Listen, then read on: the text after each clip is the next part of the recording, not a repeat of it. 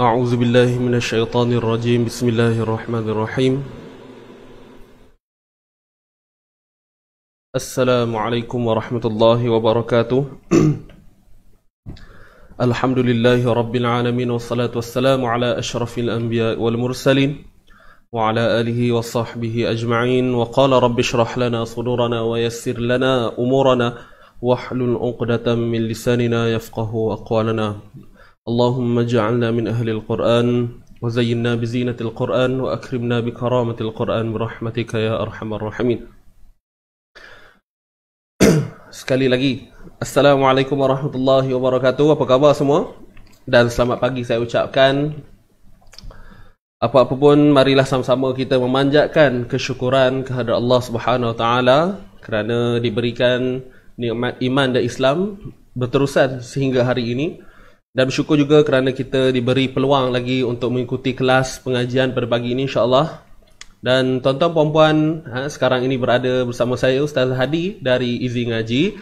InsyaAllah kita berada dalam surat sharing tajwid lah. Ha, seperti biasa, setiap pagi kita akan bertemu walaupun melalui alam maya tuan-tuan puan-puan, ha, melalui Facebook je.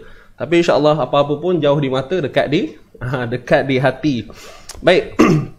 Jadi apa-apa pun jangan lupa untuk pagi ini uh, kita sama-sama perbaharui niat kita, kita tajdid niat kita semula eh, sebelum kita meneruskan pengajian kita, eh, mulakan orang kata apa, mujahadah kita sebagai penuntut ilmu Al-Quran. Saya nak ajak sama-sama kita perbaharui niat semula. Okey, ingat balik kenapa tuan-puan bersama saya pada pagi ini, eh, apa tujuan tuan-puan belajar Al-Quran ini untuk apa sebenarnya? Eh, adakah untuk eh, sekadar memenuhi masa lapang? Adakah takut malu kan? Uh, dipersoalkan oleh ahli keluarga kan? Takut suami isteri tanya dah reti baca Quran belum? Ha, jadi di mana di mana nilai tu kita letak tu? Kita belajar Quran ni atas faktor apa? Ha, jadi insyaallah insyaallah kalau kita niatkan atas dasar ibadah yang mana semua eh, kaum muslimin okay, khususnya umat Islam di muka bumi Allah ni tak kisahlah bangsa apa pun. Kalau namanya umat Nabi Muhammad sudah tentu kita perlu uh, mengagungkan mukjizatnya. Apa itu? Apa itu mukjizat Nabi tu? Ah, Al-Quran ni lah. Al-Quranul Karim. Kalam Allah yang sangat-sangat tiada tolak bandingnya. Ya. Jadi insya-Allah saya harapkan tuan-tuan dan puan eh, akan kekal istiqamah sampai bila-bila ya. Ha, kan? Nak istiqamah Quran ni bukan senang tuan-puan, susah. Ha. Ada orang semangatnya seminggu aja, lepas tu hilang. Ada orang semangatnya bertahun-tahun. Eh, 5 6 tahun. Pada kita mungkin ish, mustahil lah. Ha, kalau 5 tahun boleh kekal dengan Quran, tiba-tiba eh, 5 tahun kekal Quran, tahun masuk tahun ke-6 dia meninggalkan Al-Quran serta-merta. Benda tu tak tak mustahil tuan-puan. Ha, kan? Jadi sebab tu kita kena faham kenapa dan kenapa dan kenapa. Itu je. Timbulkan soalan kenapa dan kenapa. Kenapa kita baca Quran? Eh? Kenapa kita belajar? Untuk apa dan sebagainya. Jadi insyaAllah bila kita jelas dengan semua itu, maka Allah akan lorongkan kita. Allah akan lorong kita beri. Eh? Beri laluan pada kita. Walaupun setiap laluan yang kita lalui itu, sepastinya akan ada liku-liku dia. Itulah namanya dugaan dan ujian, cubaan. Ha, kan? Maknanya ada yang belajar nanti susah nak dapat dan sebagainya. Ha, jadi itulah fasa-fasa. Ada orang laju. Kan? Belajar kejap dah dapat. Ada orang belajar pelan jenuh mikir kan. Kenapa lah aku tak dapat-dapat lagi. Ha, jadi yang paling penting jangan kita negatif dengan Allah. Ha, Allah akan beri. Jangan risau. Allah akan beri kita. Eh? Dia akan beri kita orang apa, peluang itu nanti. Ha, cuma kena sah, kena sabarlah. Okey, ha, kena sabar. InsyaAllah saya guna ayat yang mudah, tuan-puan pun senang nak faham. Dan benda ni bukanlah benda baru, tuan-puan. Ha, selalu dengar ustaz-ustazah duk cerita benda ni. Ha, tapi itulah, ha, manusia ni sifatnya pelupa. Ha, jadi kita kena sentiasa ada orang kata apa? Tazkiyatun nafsi. Apa itu tazkiyatun nafsi? Penyucian jiwa. Ha, kan? Baik, jadi tuan-tuan perempuan, insyaAllah ha, dah, dah ramai yang dah masuk ni. So, macam biasalah eh, bantu saya untuk share dulu eh, yang baru masuk ahlan wa sahlan saya ucapkan jangan lupa bantu saya untuk sharekan dulu boleh eh kita nak ajak sahabat-sahabat kita yang berada di luar sana okey untuk dapatkan manfaat yang begitu besar ini insyaallah alright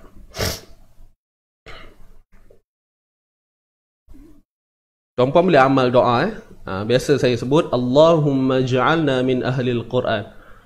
Allahumma ja'alna min ahlil Quran. Allah, okey biasa kan dengar kan Allahumma itu sambunglah terus maj maj Allahumma j Allahumma ja'alna min ahlil Quran. Uh, Allahumma ja'alna min ahlil Quran. Amal lah tu selalu. Uh, apa maksud dia? Wahai Allah, jadikanlah kami dari kalangan orang-orang yang apa? Ja'alna min ahli al-Quran dari kalangan ahli al Al-Quran. Insya-Allah. Ha, mudah-mudahan ya. Jadi tuan-tuan puan ha, untuk pagi ini kita nak sambung bacaan suratul Baqarah. Okey, surah Al-Baqarah ayat 125. Hari ini satu ayat saja. Okey, 125 dan kepada mereka yang ada mashaf boleh buka pada muka surat 19. Okey, muka surat 19 sambungan eh, sambungan. Muka surat 19. Baik, jadi apa-apapun jom kita mulakan pertemuan kita pagi ini uh, Untuk mendapatkan keberkatan daripada Allah Subhanahu Wa Taala Kita buka dahulu dengan bacaan umul kitab Al-Fatihah. Bismillahirrahmanirrahim. Alhamdulillahi Rabbil Alamin. Ar-Rahmanirrahim. Al مالك يوم الدين. إياك نعبد وإياك نستعين. اهدنا الصراط المستقيم. صراط الذين أنعمت عليهم غير المغضوب عليهم ولا الضالين.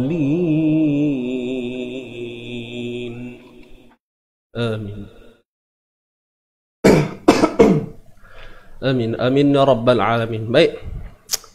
Jadi ah, selesai untuk ah, kita punya pembuka ah, sebelum kita mulai apa-apa pun kita start dengan umul kita al-Fatihah. Insya-Allah mudah-mudahan ada keberkatan di sisi Allah Subhanahu wa taala dan jom kita teruskan untuk bacaan semasa kita pagi ini. Okey kejap eh saya buka. Okey. So ini dia surah Al-Baqarah ayat 125. Okey, ayat 125.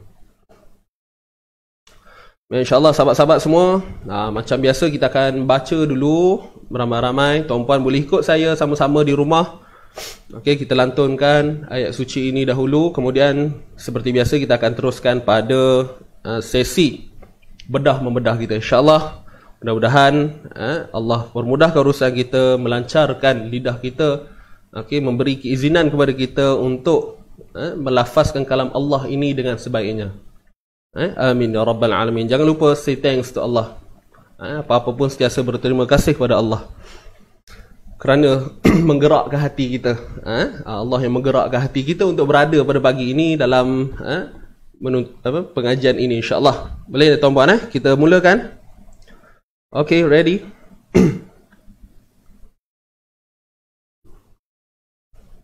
ada lagi seorang kakak saya pun ada join.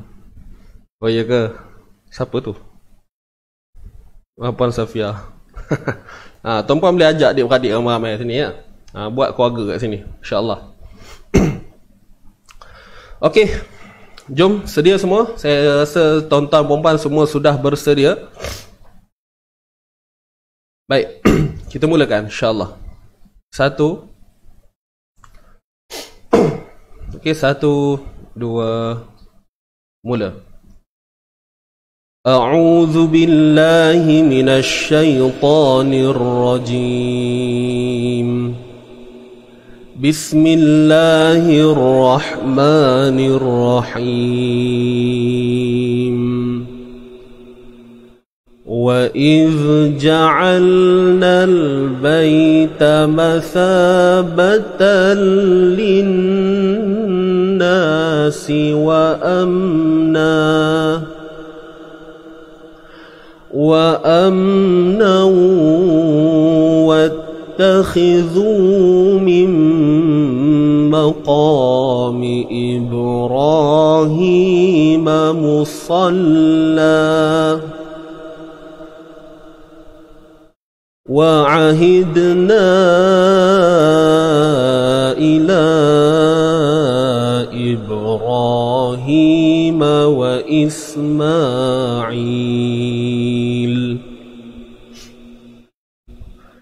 وإسماعيل أن طهر بيتي للطائفين والعاكفين. والعاكفين والركع السجود.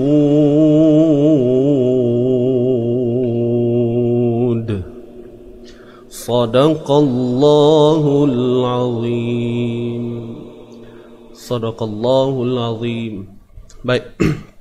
Alhamdulillah Selesai bacaan kita untuk yang pertama Terima kasih tuan-tuan dan puan Okey Uh, Semoga-moga eh, apa yang kita lakukan pada pagi ini kita mendapat keberkata, keberkataan eh, daripada Allah taala dan dipayungi eh, sayap para-para malaikat insya-Allah. Okey.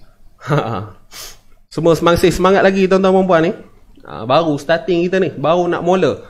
Ya, baru nak mula. Insya-Allah pastikan semua dalam keadaan bersemangat. Jom kita teruskan untuk sesi pembedahan kita tuan-puan.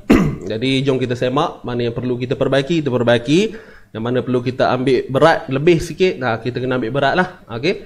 Dan saya harap tuan-puan adalah catatan Quran eh, untuk untuk apa? Supaya ianya menjadi eh, rujukan kita untuk akan datang. Ha, kalau mas, nanti kalau dengar itu je takut masuk kanan keluar kiri ya. Ha, kan? Bateri mata penuh lagi insyaAllah Okey jom kita mulakan Okey stand by A'udhu billahi syaithanir rajim وإذ جعلنا البيت مثابة للناس Baik Huruf waw baris atas Di sini kita hanya baca berapa harakat tuan-tuan dan puan ha, Satu sahaja Wa iz ja'al Wa iz ja'al Okey, huruf zal di sini Huruf hamzah macam biasalah ya ha, Huruf hamzah baris bawah bunyi i ha, Jangan bunyi e Bunyi i Wa i Wa i Begitu Baik, kemudian matikan zal ini dengan mengeluarkan sedikit hujung li hujung lidah kita. Sikit saja tuan-puan. Ha, jangan banyak-banyak. Okey. Wa iz wa iz ah tu. Boleh. Kemudian huruf jim baris atas ja. Wa iz ja'alna ja'al ja'al Huruf jim baris atas bunyi ja, huruf ain baris atas bunyi a. Cuma saya nak ingatkan di sini huruf ain kita kena sempitkan pada bahagian kerongkong kita. Ingat tu tuan-tuan dan puan, ha, untuk kita ha, melafazkan huruf ain ini kita kena sempitkan pada bahagian kerongkong. Okey, bahagian kerongkong bukan bahagian hi, hidung. Kena ingat tu. Ha, kalau kita buat bahagian hidung nanti dia jadi apa? Sengau. Kan ja'al ja'al ja'a a bunyinya kat sini. Eh daripada makhraj kerongkong kita insya-Allah. Wa idz ja'alnal di sini huruf nun kita loncat terus masuk pada huruf lam. huruf nun loncat terus pada huruf lam yang mati ni. Lam mati ni nampak ni lam yang ada tanda sukun ni ini adalah alif lam qamariyah. Okey. Ah, alif lam qamariyah. Boleh tuan-tuan puan? Alif lam qamariyah yang mana menjelaskan sebutan huruf lam yang mati. Ha, itu adalah huraian kepada alif lam qamariyah. Jadi kalau kita tengok na ni memang asalnya asalnya mat asli, kan? Nampak ni ada alif mat sebelumnya pada atas. Baik. Kalau ikut asal bunyi begini, wa iz ja'alna Wa iz ja'alna. Na tu dua harakat mat asli. Okey, huruf mat ni kan huruf yang mati. Betul kan? Huruf mat ni adalah huruf yang ma mati. Cuma tidak diletakkan sukun. Baik. Jadi bila huruf mat bertemu dengan huruf yang mati Jadi apa yang kita faham kat sini? Huruf mati bertemu dengan huruf mati. Betul kan? Huruf mat ni huruf mati. Cuma masyarakat kita faham huruf Alif ni adalah sebagai mat saja, tapi tuan-puan kena tahu juga huruf mat ni sebenarnya huruf yang ma, huruf yang mati. Jelas ni? Baik, jadi di sini berlakulah pertemuan huruf yang mati, sama-sama mati. Huruf alif mati bertemu lam mati. Jadi, dari konsep teknik kaedahnya ialah huruf mat ini digugurkan bacaan, digugurkan bacaan padanya ataupun digugurkan terus. Ah, tak payah sebut bacaan, sebut gugur je. Ah, kita faham kan? Maknanya dah tak ada dah pada bunyi tu. Sebab tu kita tengok bacanya ja'alnal ja'alnal. Kita tak akan baca panjang. Ja'alnal bay nal bay gitu. Boleh faham ni? Ah, itu kaedahnya. Okey kepada mereka yang baru nak mulalah, ha, siapa yang dah mahir alhamdulillah tak ada tak ada isu lah kat sini eh. Ha, cuma mungkin nak menjawab ha, sedikit persoalan kepada mereka yang mungkin anggap eh ni bukan mak asli ke? Kenapa baca macam tu? Okey so mungkin sudah terjawab lah. Okey disebabkan pertemuan dua huruf yang mati. Maka macam mana nak baca? Tak boleh baca. Okey jadi digugurkan pada bunyi mat tu digugurkan. Bunyi mat tu dah tak ada. Okey Dapat ni Tuan-tuan perempuan Alright. Wa iz ja'alnal Tu je bunyi dia.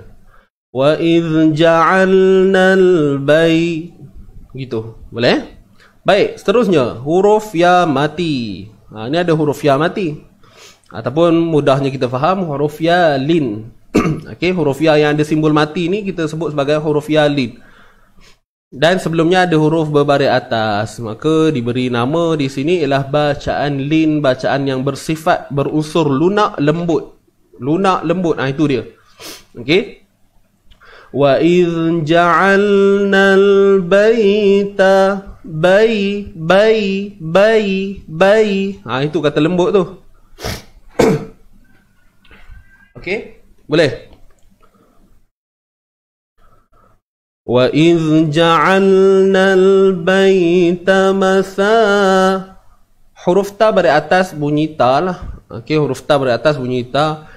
Masa masa masa masa huruf mim dari atas ma. Huruf sa dari atas bunyi sa. Ha, cuma sa ini perlu dipanjangkan dengan kadar dua harakat. Sebab apa? Sebab mat asli. Ni alif mat sebelumnya dari atas. Dan jangan lupa tuan-tuan dan puan nampak ni huruf sa ni bukan huruf sin tapi huruf sa yang mana kita kena keluarkan hujung lidah. Okey, ha, keluarkan hujung lidah kita sikit je. Sa wa iz ja'alna al-baita masa sa Dapat tak? Okey dan jangan lupa panjangkan dua harakat lah. Batal linnas. Batal. Tanwin bertemu lam. Okey, tanwin bertemu lam ni idgham bila gunnah. Memasukkan idgham eh, memasukkan bila gunnah tanpa dengung. Ha, itu dia nak bagi tahu kat kita. Jadi apa yang nak dimasukkan ialah ah ha, ni. Nampak ni, tanwin pada huruf ta ni, pada atas ni, masukkan terus bacaannya pada huruf lam bersabdu ni masabatalli masabatalli masabatalli dapat tak? Masabatalli ah. Jelas ke tuan-tuan puan idgham bila gunnah. Okey memasukkan tanpa dengung. Okey. Ha, ni eh tanwin bertemu lam. Jadi huruf idgham bila gunnah ni ada berapa? Ada dua je. Huruf lam dengan ra. Dan kita akan dapati pada lam ni nanti Okey, sekiranya berlaku pertemuan lah tanwin apa-apa jenis tanwin pun bertemu dengan lam. Lam ni sepastinya bersabdu. Kenapa ada sabdu? Sebab nak menunjukkan bahawa adanya unsur idgham, unsur memasukkan pada bacaan kita tu ya? Ha, dengan adanya simbol itu nak memberikan orang oh, apa memudahkan kita lah sebenarnya. Ha, nak memudahkan kita itu saja boleh? Wa iz ja'alna al-baita masabatan linnas. Nun bersabdu. Ha, nun bersabdu ni apa dia? Wajibul gunnah wajib kita dengungkan Okey. Ataupun kita selalu sebut istilahnya gunnah musyaddadah. Okey, gunnah musyaddadah. Itu biasa biasa buku apa? Bahasa buku lah eh, bahasa kitab. Kalau kita ni terkenal di masyarakat Melayu ni uh, wajibul gunnah kan wajibul gunnah. So sama je tuan-puan, tak ada masalah. Nah, cuma dalam kitab uh, ianya termasuk dalam gunnah musyaddadah. Okay, gunnah musyaddadah. Gunnah ni maksudnya dengung. Musyaddadah ni bersabdu lah. Yang bersabdu. Ha, jadi, itu, uh, yang biasa kita sebut lah, wajibul gunnah ni ada dua. Nun bersabdu, mim bersabdu. Ingat tu. Sampai bila-bila. Nun bersabdu, mim bersabdu. Kita jumpa je dalam Al-Quran, semestinya didengungkan dengan kadar dua harakat. Begitu. Okey. مثابة للناس وأمنا واتخذوا Okay, kita berhenti kat sini eh. Linna. Okay, kita dah dengung dua harakat tadi. Kemudian nun ni juga kita hidupkan dengan kadar dua harakat. Ha, tadi kan bunyi masuk tu kan. Linna. Ha, nak hidup balik na tu dua harakat. Sebab ada alif mat kat sini nampak. ada alif mat di sini sebelumnya baris atas. Kemudian sin baris bawah bunyi si. Kemudian di sini waw baris atas bunyi wa. Wa am wa am wa am. Baik, mim mati bertemu nun. Mim mati bertemu nun. Apa dia? Izharu syafawi. Okey, izhar syafawi. Izhar ni maksudnya jelas. Syafawi ni maksudnya bibir. Ha, dia nak bagi tahu apa?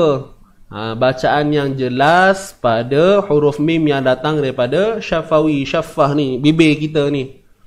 Ha, menunjukkan makhraj inilah dari mana keluarnya huruf mim ni. Itu kata izhar syafawi. Izhar menjelaskan syafawi huruf mim yang datang daripada syafawi ni tadi. Syafah, bibir. Okey, bibir mulut kita. Baik. Wa am, maka perlu dijelaskan bacaan. Okey. Jelas. Wa amna wattakhidhu wa amna wattakhidhu wattakhidhu naw wattakhidhu boleh baik tanwin bertemu waw apa hukum kat sini tuan-tuan dan puan ah idgham bi gunnah. Idgham maksudnya memasukkan.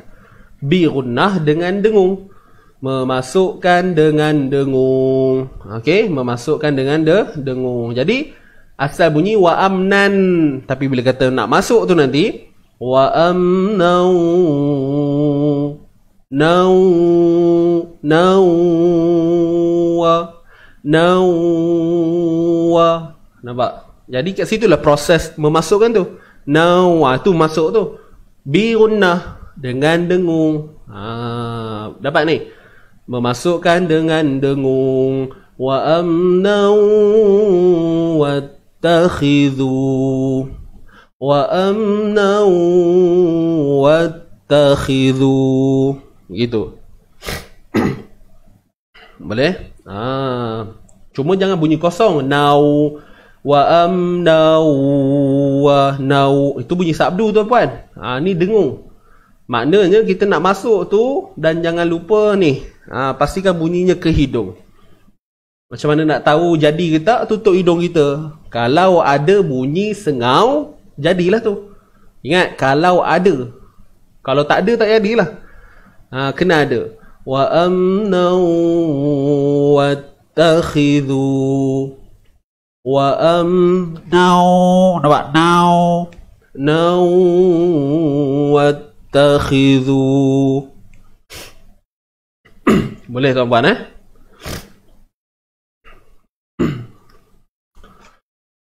Tanwin bertemu waw. Okey selesailah. Wattakhidhu. Di sini watta. Masuklah terus eh? Pada ta bersabdu ni.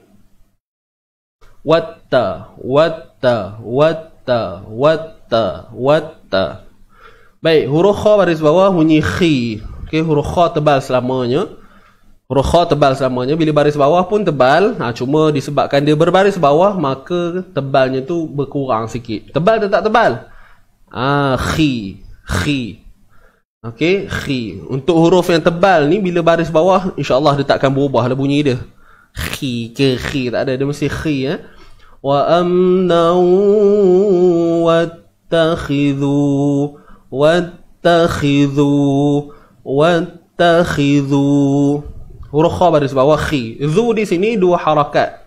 Berhenti dua harakat sambung pun dua harakat. Hukum apa? Mat asli. Okey hukumnya mat mat asli. Wa amnau wattakhidhu.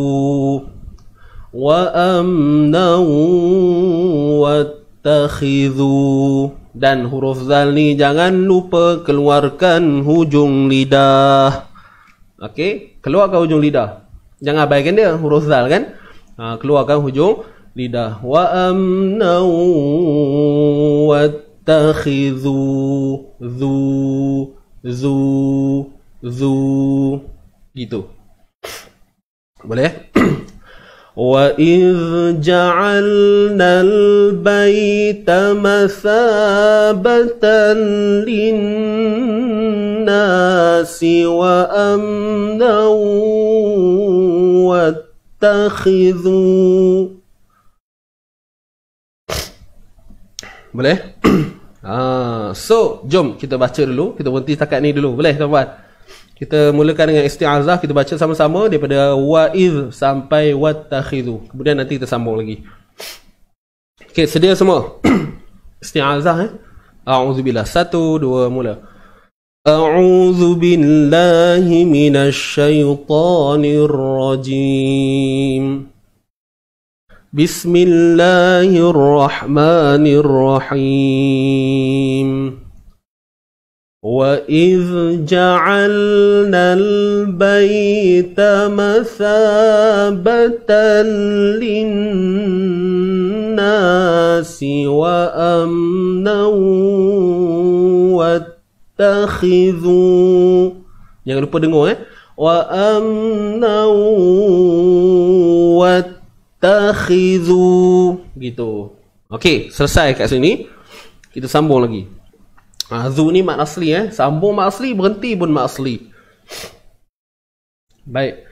Jadi, nanti bila kita dah berhenti kat sini, tuan-tuan puan, ambil semula kat sini ya. Ha. Wa amnau wattakhidhu mim maqa. Alright. Sekali kita nak baca sekali lagi, kita ambil daripada sini. Okey. Baik, di sini mimma nun mati bertemu mim. Ha, nun mati bertemu mim apa hukum dia? Mimma. Daripada mim ni loncat terus masuk pada mim bersabdu. Nun mati bertemu mim. Nama hukumnya idgham bi gunnah. Idgham bi gunnah. Idgham ni apa? Memasukkan memasukkan dengan dengung idgham bi gunnah memasukkan bunyi nun mati ke dalam mim okey so bunyinya bunyi nun ustaz bunyi nun tu tak dengar dah ke ya memang tak ada dah sebab dah masuk bunyi nun tu hakikatnya dah dimasukkan ke dalam mim ha, sebab tu kalau kita belajar lebih sikit disebut sebagai idgham bi gunnah kamil hujung tu ada perkataan kamil kamil ni maksudnya sempurna Bacaan yang kita masukkan itu berlaku secara kamil, secara sempurna. Itu pasal lah ada sabdu kat sini. Kan? Ha. Mimma, mimma Nun mati bertemu mim, idgham bi gunnah. Okey. Ha, ni pun sama tadi lah. Nun mati bertemu, eh, nun mati pula. Tanwin bertemu waw. Idgham bi gunnah. Ha, Okey, sama hukumnya. من مقام إبراهيم مصلى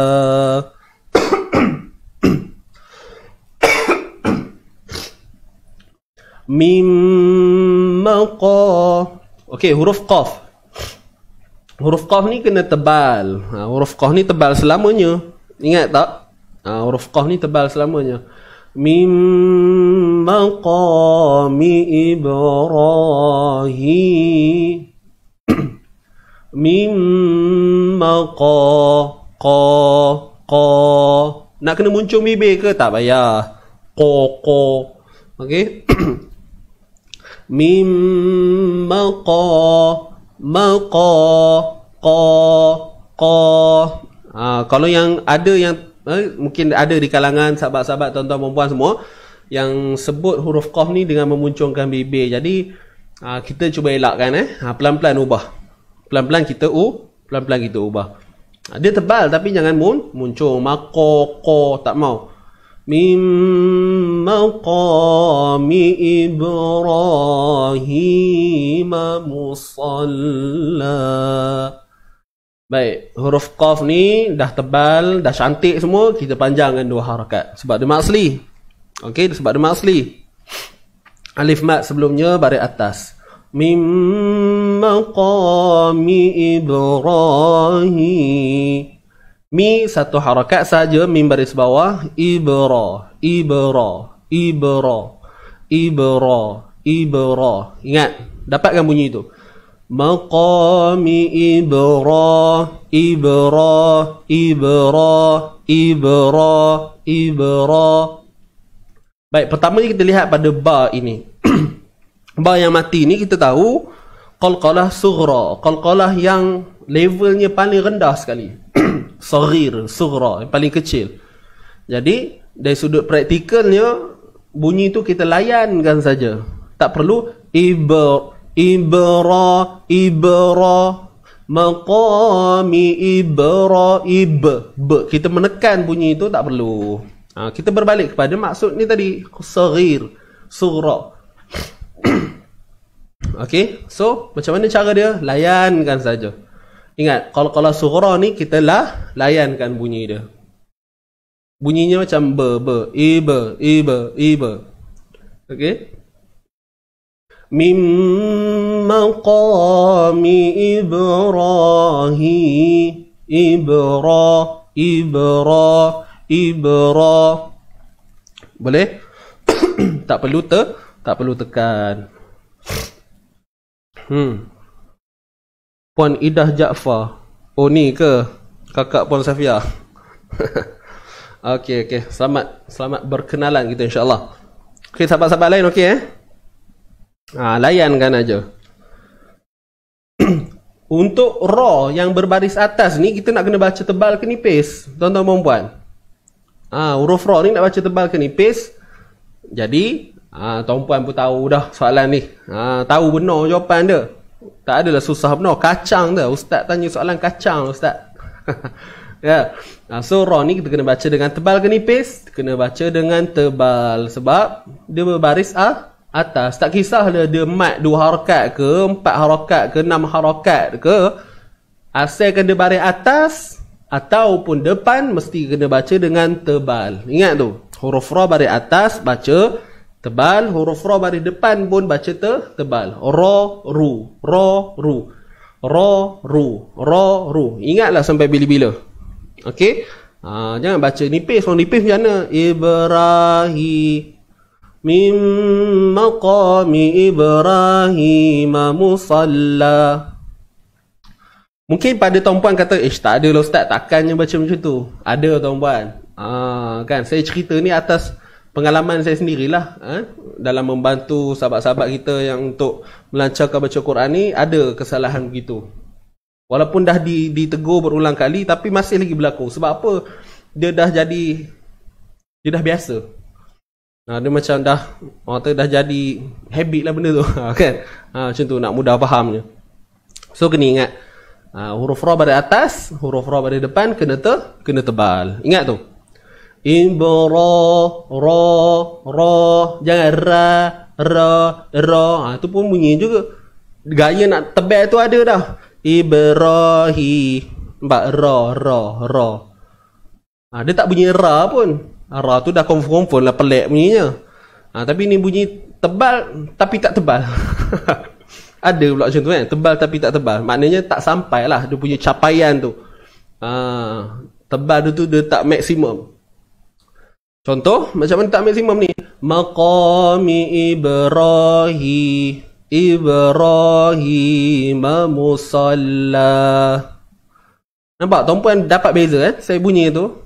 Mim Qa ni pun patut yang tebal saya nipihkan contoh eh. Saya lembikkan bunyi dia Mim maqami Ibrahim musalla Irama lagu semua saya pakai sama sebiji. Saya tak ubah sikit pun. Tapi tuan-puan dapat beza kan? Saya ulang lagi sekali. Eh? Fokus eh? Mim maqami Ibrahim musalla. Bunyi lewih orang tak? Bunyi nak tak nak je bunyi dia. Tapi kalau kita baca kita hayati betul-betul Kita memberikan hak-hak huruf ni baik-baik Kita bunyi dia macam mana? Mim maqami Ibrahim musalla Nada yang sama tuan-puan. Saya tak ubah sikit pun. Tapi nampak tak? Ha, dari sudut penjagaan sifat huruf tu. Kita jaga sebaiknya, maka terhasillah bunyi yang baik. Itu je. Okey? Ha, boleh? Puan Samsia kata mengajuk menjadi bukan mengajuk tapi itulah bunyi dia. Ah, saya hafal bunyi orang baca tu. Betul kan? Okay, so ingat eh, tebal pada qaf tebal, ron tebal.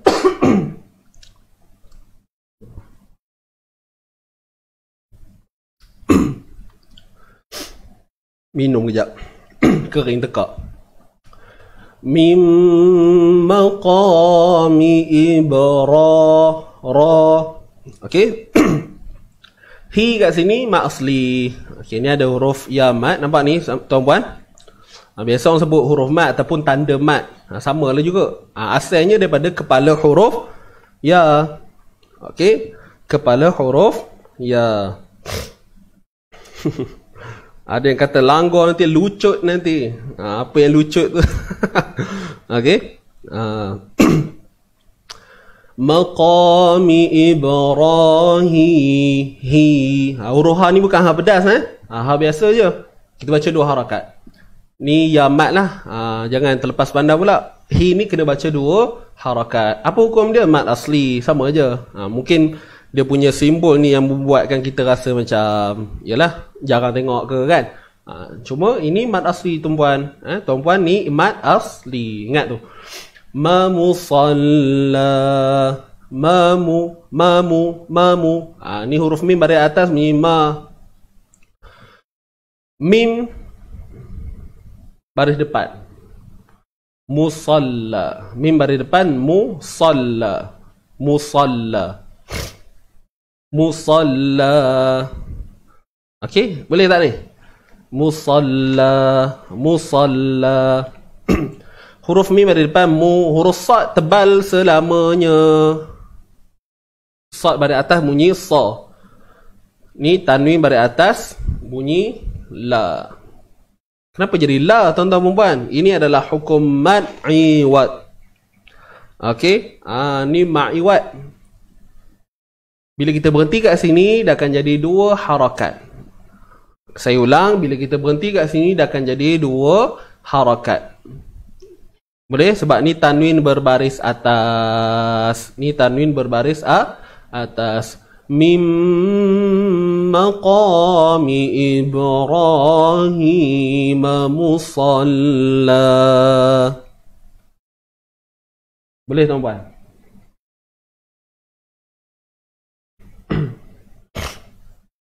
Okey. Ha. Saya ulang sekali eh, dengar baik-baik ujung ni. Mim maqami Ibrahim musalla la tanwin baris atas bila kita berhenti jadi dua harakat. Apa nama hukumnya? mad iwat. Okey, mad i, mad iwat. Clue dia kalau kita berhenti pada tanwin pada atas. Okey, ha, jangan baca musallai pula, musallai ke musalli ke, tak maulah. Okey, musalla dua harakat. Mad'i wa Baik. Kita baca balik daripada atas ni, eh atas, sorry, daripada wa ni. wa amna wattakhidhu min maqami Ibrahim musalla. Okay, sedia semua. Satu, dua, mula. Wa amnau wa takhidhu min maqami Ibrahim musallah. Okay, kita berhenti situ dulu, kita sambung lagi. Wa ahidna. إلى إبراهيم وإسماعيل وعهد Okey, huruf waw baris atas bunyi wa. Huruf ain baris atas bunyi a. Untuk ain ni jangan lupa kita sempitkan dia. Untuk ain kita sempitkan dia tuan-puan. Ingat, sempitkan kat mana? Hidung ke kerongkong? Ah, kerongkong kita tuan-puan eh. Jangan sempitkan ain tu pada bunyi hidung. Nanti sengau lah. Wa'a wa'ahidna ila ah, dia dah start sengau situ sampai hujung sengau. Ah, tak percaya buatlah tuan-puan. Ah, nampak tak? kita kita starting tu salah. Ha, dia, dia, dia terbawa-bawa bunyi dia tu. Betul kan? Ha, cuba tuan-puan cuba. Ha, jangan malu untuk cuba. Start hidung sampai ke sampai ke sudah hidung lah bunyi dia. Wa'a. Wa'ahidna إلى إبراهيم وإسماعيل Nampak beza tu kot ya? Eh? Ha. Tapi kalau kita sebut elok wa ahidna eloklah jadinya. Okey, ingat eh huruf ain sempitkan pada kongkong. Ha, kongkong itu eh ni halkum kita. Huruf ha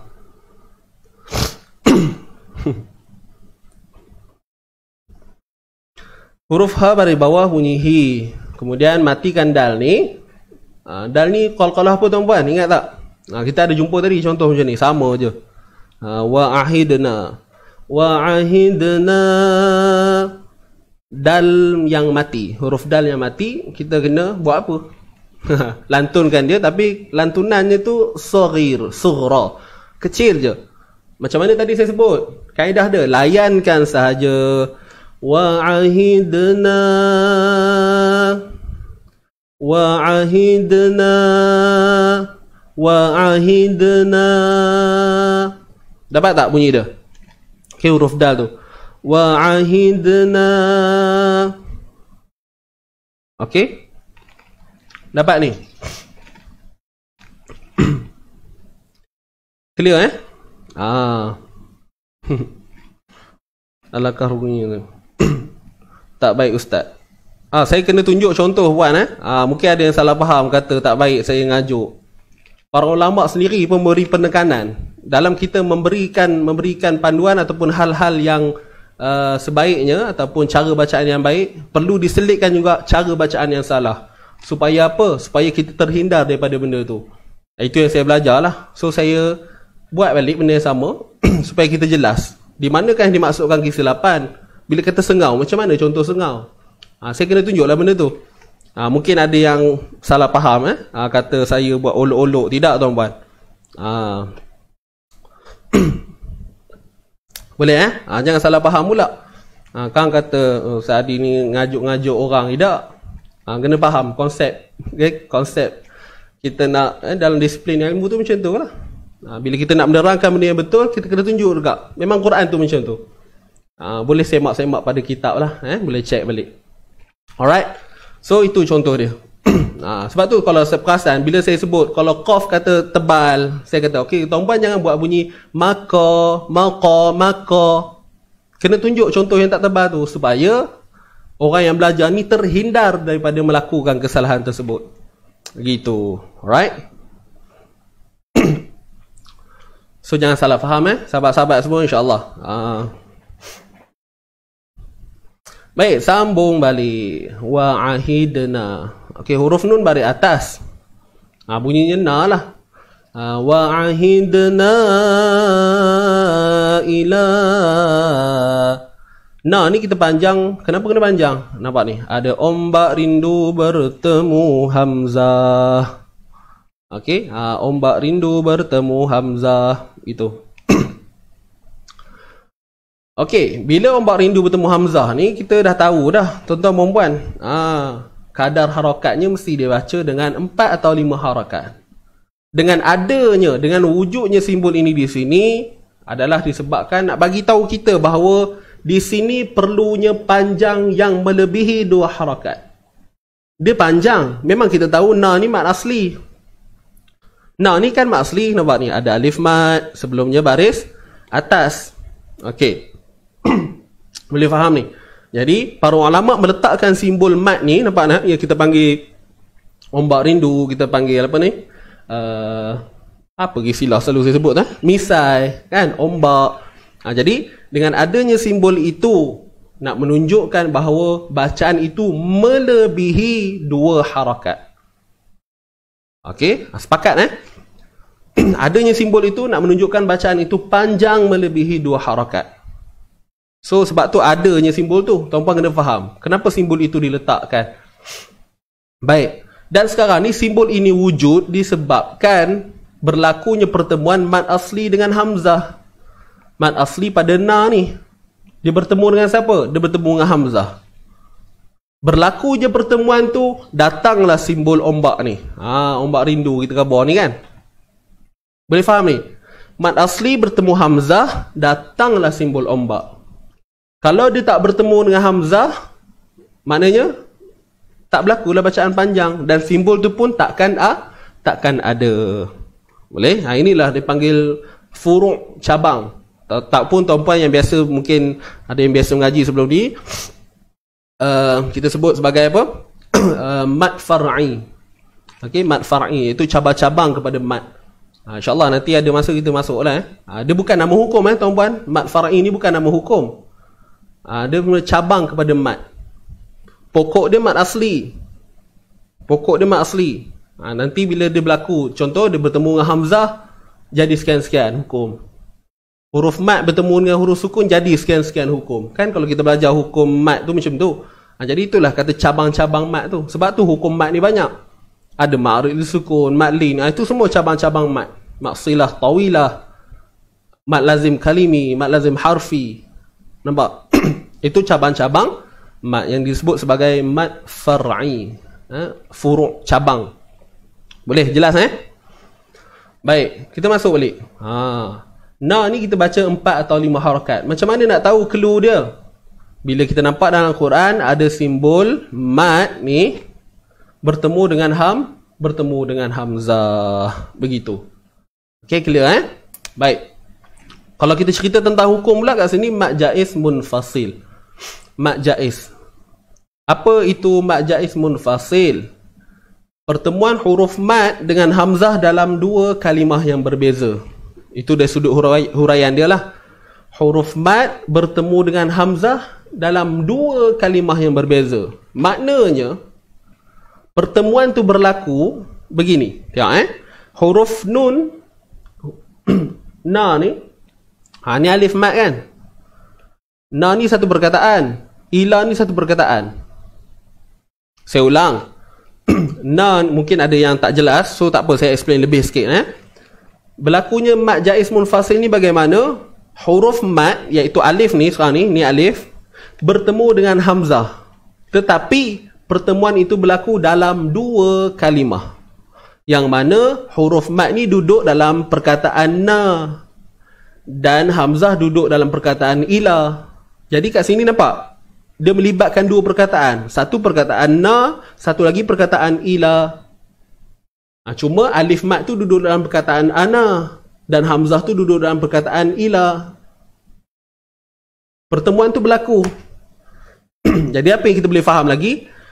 huruf mat ni duduk di akhir perkataan. Di akhir perkataan dan bertemu dengan hamzah yang duduknya di awal perkataan. Itu yang kata pertemuan tu berlaku. Boleh faham? Itulah yang disebut sebagai mat jais munfasil. Mat jais munfasil. Munfasil ni maksudnya terputus. Jais ni maksudnya terputus. Boleh faham? Terpisah. Pertemuan tu terpisah. Dan kenapa ada perkataan jais?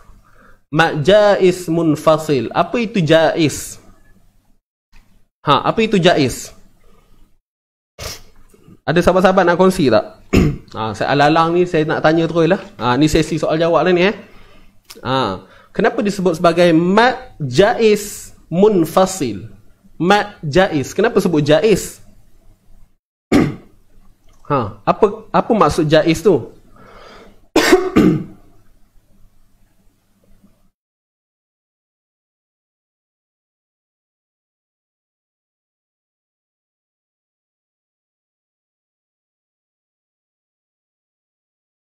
Okey, ha, cuba jawab.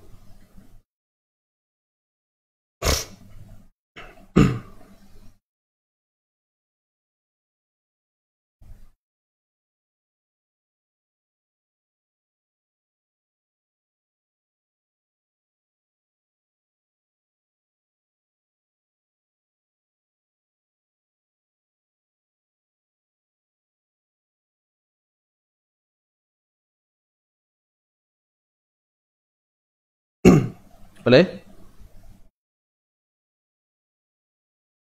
Ha.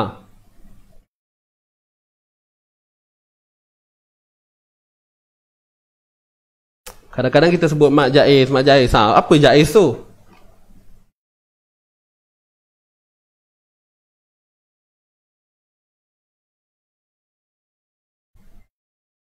Hmm.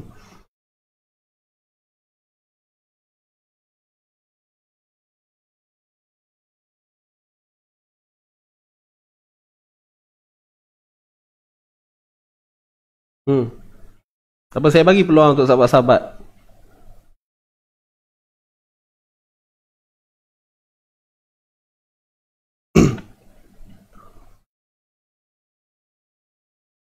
Okey, ha, Tuan Suhaimi kita dah jawab. Jaiz tu harus. Sebab kalau tuan-tuan beberapa ah, ada jawapan lagi.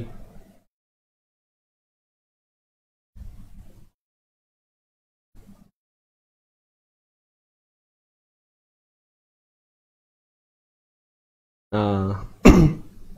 saya pun tak ingat lah saya pernah bagi tahu ke tak. Ha, tak apa, pencerahan buat semua. Kan kalau kita belajar hukum mat, minta maaf lah, mungkin apa yang saya ceritakan ni ada yang belum belajar lagi dan sebagainya. Tak apa, saya bagi pendedahan awal dulu. InsyaAllah, saya akan cuba sampaikan dengan uh, bahasa yang mudah untuk difahami. Macam ni. Kalau kita belajar untuk hukum mat ni, kan dia ada dua. Ada, ni ceritanya tentang yang bertemu dengan Hamzah ni, eh? kan dia ada dua. Mat jais munfasil. Mat jais munfasil iaitu pertemuan huruf mat dengan hamzah dalam dua kalimah.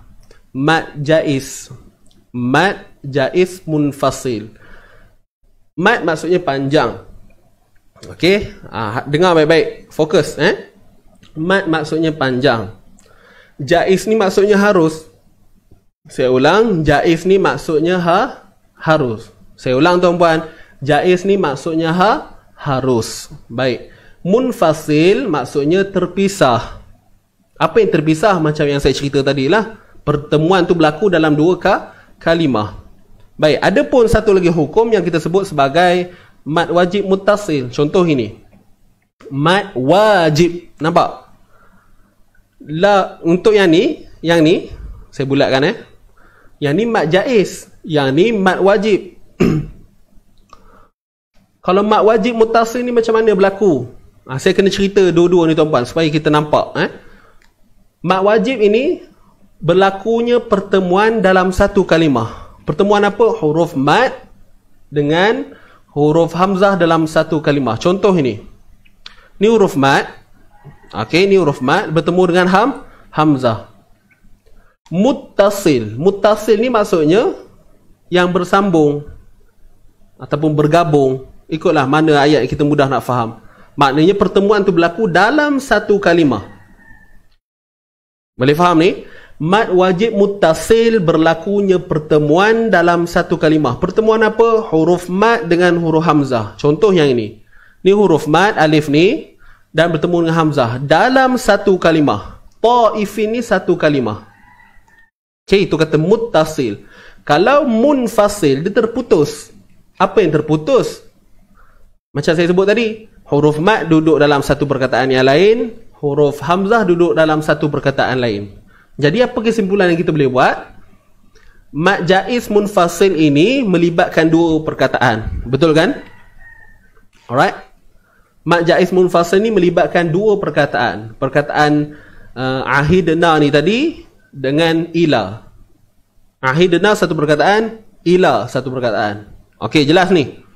Baik. Dan Ta'if ini satu perkataan je. Dan pertemuan tu berlaku dalam satu perkataan ni juga. Ta'ifin. Ta'if. Dalam satu perkataan. Baik, sekarang ni kita nak pergi kepada persoalan saya tadi. Kenapa di sini sebut jaiz dan kenapa sini sebut wajib? Okey, dengar baik-baik. Perasan tak? Kat sini namanya mat jaiz. Kalau kat sini mat wajib. Saya ulang, kat sini sebutnya mat jaiz dan kat sini sebutnya mat wajib. Apa yang membezakan dua istilah ni? Wajib dan harus. Saya ulang tuan-tuan eh, jaiz ni maksudnya harus. Wajib maksudnya apa? Wajib. So, dengar begini. Kenapa disebut sebagai jaiz di sini adalah kerana ianya melibatkan pada cabang qiraat yang lain ataupun pada uh, kita sebut sebagai apa? aliran Okey, aliran. Apa itu aliran? Ah, dia dah masuk dalam sikit. Aliran ni dia macam mazhab lah tuan-puan eh, macam mazhab. Kalau pada mazhab kita kita akan baca di sini empat atau lima harakat. Tetapi ada pun pada mazhab yang lain, saya guna perkataan mazhab eh mudah mudah nak faham kan. ada yang baca dengan dua harakat. Ada yang baca dengan dua harakat. Dia baca dua, empat ataupun lima. Ila Ibrahim wa Ismail. Maknanya semua mat jais yang sepatutnya kita faham, kita baca empat atau lima, tetapi ada tarik ataupun ada mazhab tadi yang saya sebut tadi, yang baca dengan dua harakat. Dua, empat, lima. Kalau kita empat dengan lima sahaja, dua tak baca, tak boleh. Ha, sebab itu pegangan kita, kita hanya empat atau lima je. Tuan-tuan kena faham tu lah. Ha, kita empat atau lima sahaja. Dan kenapa adanya perkataan jais tu, harus tu, sebab ada yang baca dua. Boleh faham? Jelas ke tuan-tuan dan puan? Dan kenapa ada perkataan wajib di sini? Maknanya sepakat semua qurra, semua semua mazhab ni tadi akan baca di sini dengan panjang, tidak ada dua harakat. Ada mat wajib mutasil. Sebab tu namanya wajib. Mat wajib. Mat yang wajib. Maksudnya bacaan panjang yang wajib yang jatuhnya pada semua qurra, semua mazhab. Ah ha, gitu. Ataupun qiraat lah. Okay? Uh, yang biasa dengar perkataan qiraat tu. Boleh faham ni? Okey. Uh, tariq ni maksudnya aliran lah, jalan. Okey, kalau kita bincang dalam balik kan, macam kita kita mengikut dengan qiraat uh, Imam Hafsun an Asim melalui tariq Asy-Syatibiyah. Uh, kita Asy-Syatibi. Imam Syatibi ni mengamalkan untuk hukum majais empat atau lima Nampak? Mungkin berat sikit. Minta maaf tuan-puan. Eh? Tapi ini real dia. Boleh? Alright? Ha, dan pada... Kalau yang siapa yang mengikut aliran Imam Al-Jazari akan baca dua harakat kat sini. Kita Imam Syatibi. Kalau yang mengikut aliran Imam Al-Jazari baca dua harakat. Sebab tu jangan pelik kalau kita jumpa orang baca pendek kat sini. Pada mak jais eh, bukan mak wajib, mak jais. Sebab tu ada perkataan jais tu. Harus.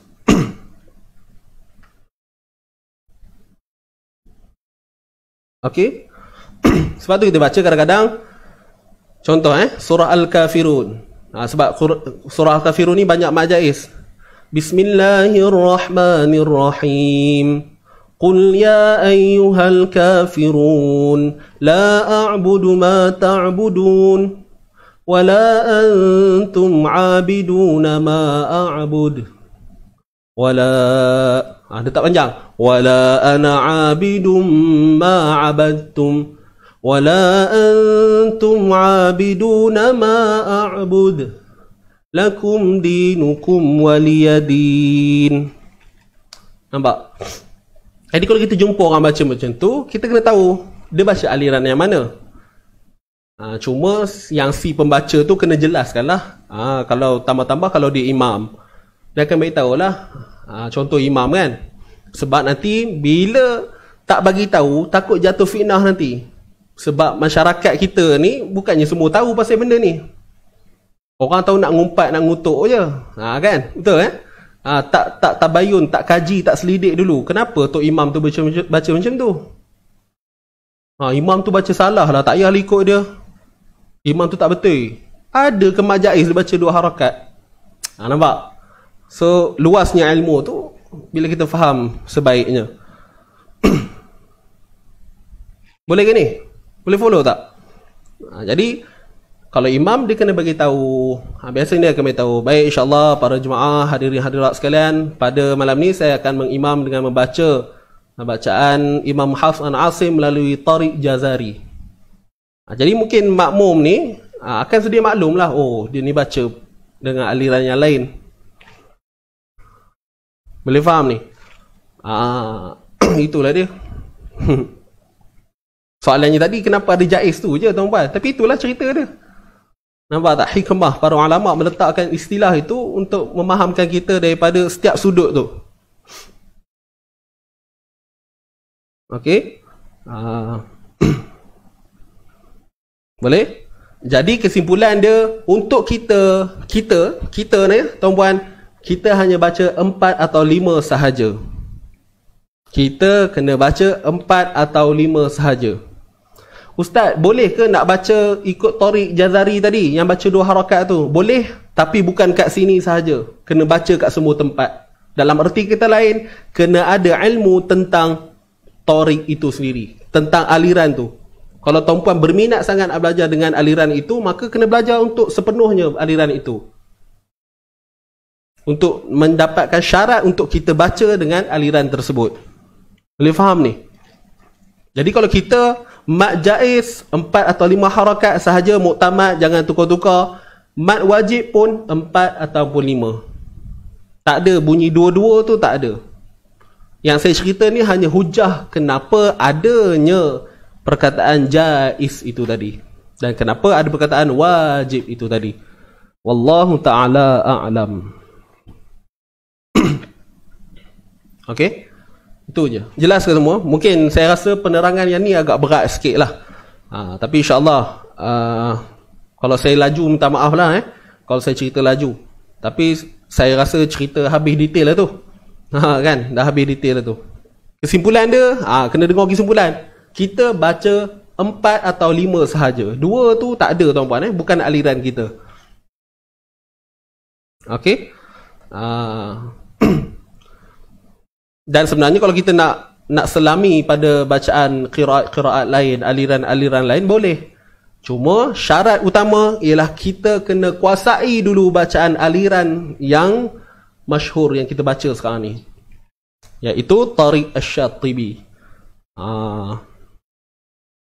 Jadi banyaklah dia punya tuan-puan. Kalau kalau saya sebut nama Imam Syatibi Jazari pun tak kena, relax dulu. Tak payah duduk cerita belajar orang kata apa belajar kiraat dan sebagainya. Kita kena kenal dulu siapa yang kita ikut dan semuanya. Boleh faham nah Allah taala.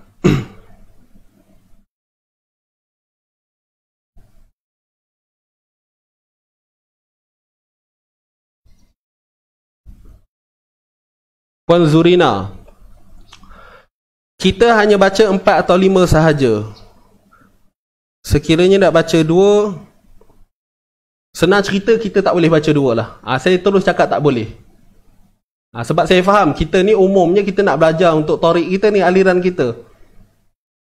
Ha, saya kata tak boleh di atas pegangan saya terhadap bacaan kita sekarang ni ialah saya mengamalkan dan saya mengajarkan kepada tuan-puan ini adalah bacaan Tariq Asy-Syatibi. So memang fix empat atau lima tu sahaja jawapan dia. Kalau dua bukan saya kata tak ada, ada tapi pada torik yang lain, pada aliran yang lain. Kita boleh baca tak? Tak boleh. Sebab apa? Sebab kita bukan belajar bidang tu. Kita bukan belajar dalam aliran itu. Lainlah kalau sharing saya pagi ni, okey, pengajian sharing tajwid Tariq Jazari. Ah itu ya. Kita akan fokus Tariq Jazari je. Semua. Nanti mat mat silah qasirah, mat silah tawilah pun kita baca dua harakat semua. Okey? Ah nampak. Wallahu ta'ala a'lam.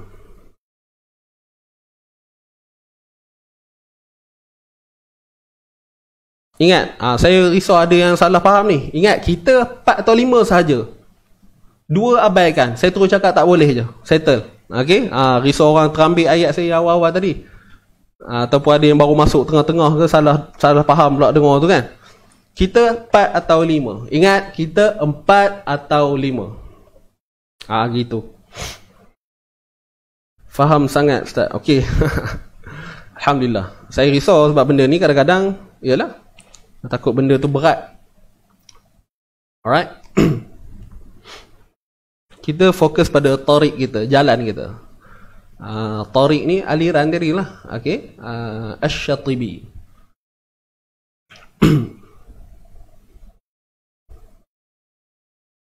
Yes, kita ikut aliran kita saja. Empat atau lima, settle. Boleh? Tapi tuan-puan kena ingat lah. Ah, nanti tuan-puan salah faham pula. Ustaz ni saja nak bagi orang pening. Tidak, saya bukan nak bagi pening. Tapi nak bagi tahu bahawa ilmu itu ada. Nak menghindarkan kita daripada mudah nak uh, busuk hati, nak ngutuk orang kita. Contoh lah. Ha, kan? Kadang kita manusia ni biasalah terlepas dari itu nampak salah sikit kita dah belajar contoh kita dah belajar tajwid lama dah. Tiba-tiba ada orang baca dua harakat kat majais kita pun duk cerita entah salah bacanya tu imam hmm, tak elok lah. ha. imam imam tu tak bagus baca tak payah pergi. Kan nampak? Kita menjaja-jaja cerita ke orang.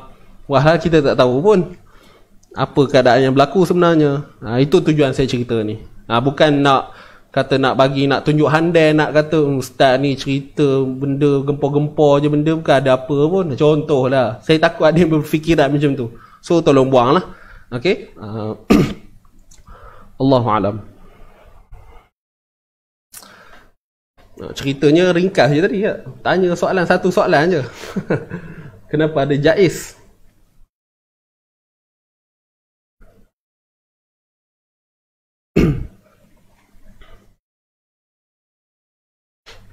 Mak jais munafasil. Yes, kalau waqaf dia jadi dua harakat lah.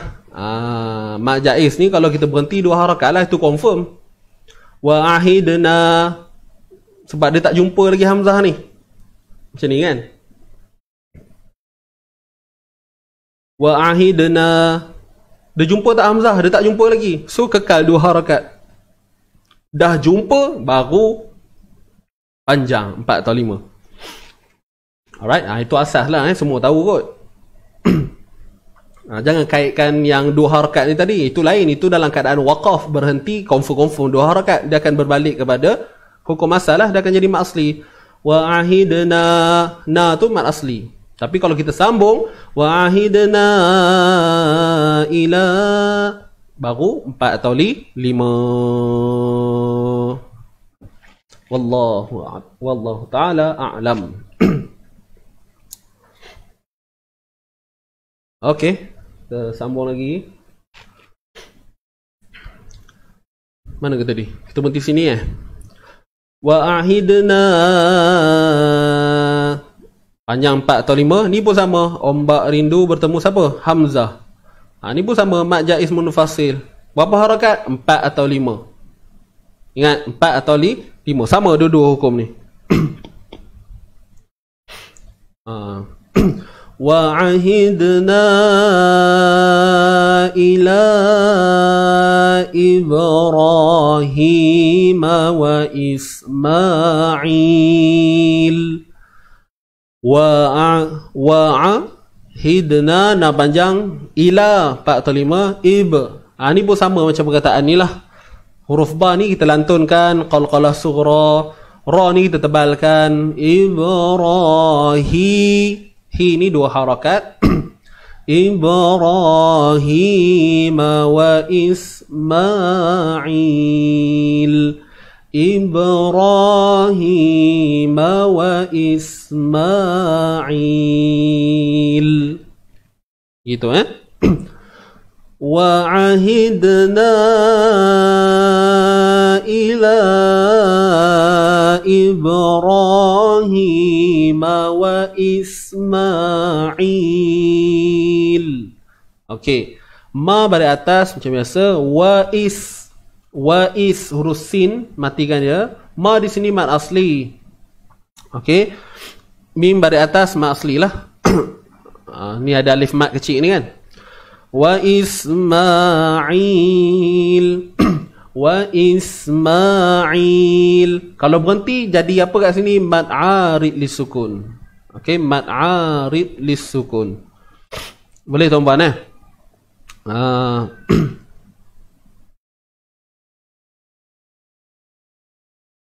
ha? Kalau berhenti pun tak boleh baca dua harakat ke? Uh, yang mana? Soalan yang mana ni?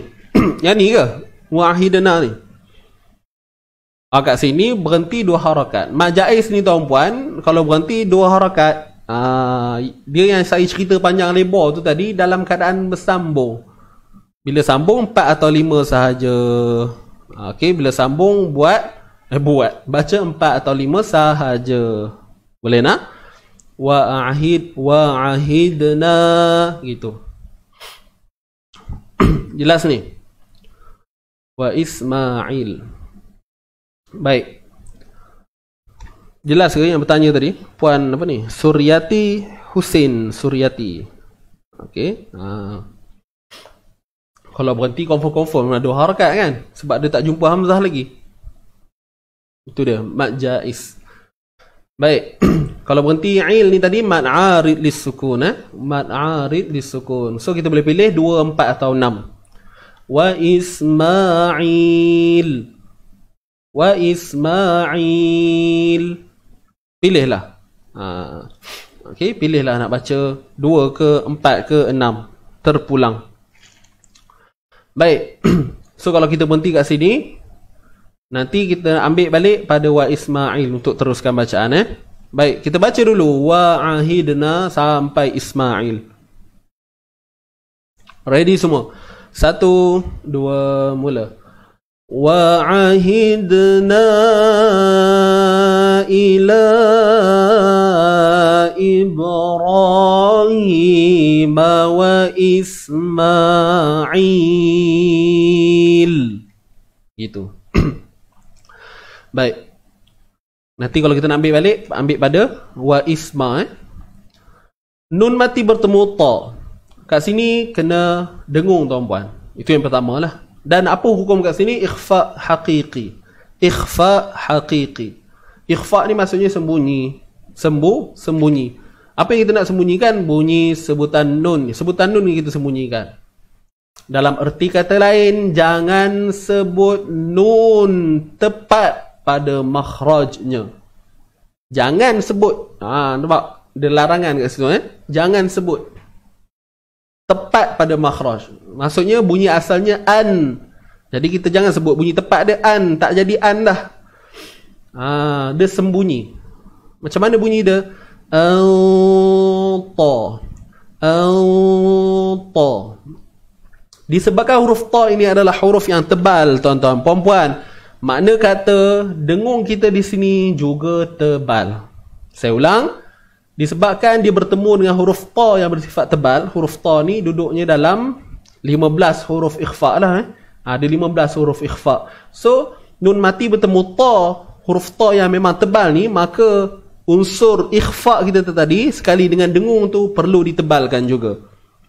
Au ta wa isma'il au tahira au ta au dan bersedia nak sebut huruf ta.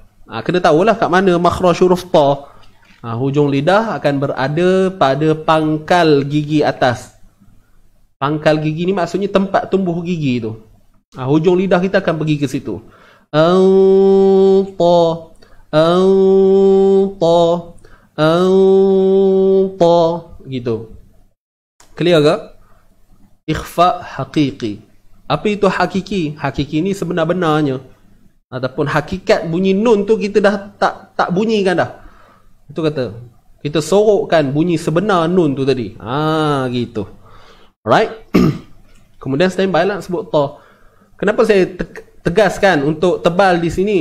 Ha, sebab kalau kita buat nipis, nanti bunyi ta kita akan nipis. Wa an wa an ta. Ta nampak? Jadi ta. Wa Ismail an tahira tahira. Dia susah tuan-puan.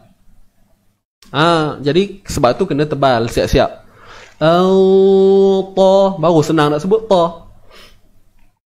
Ha, jadi dia seiring lah benda ni. Ha, kefahaman kita kena betul-betul jelas macam mana nak menyembunyikan nun dan macam mana nak menyebut huruf ta dengan betul maka insyaallah sebutan kita tadi ikhfa itu tadi akan terhasil dengan sempurna lah okey insyaallah mudah-mudahan eh isma'il au tahira tahira clear ke baik huruf ha yang bersabdu ni tahi tahi tahi boleh tuan-puan?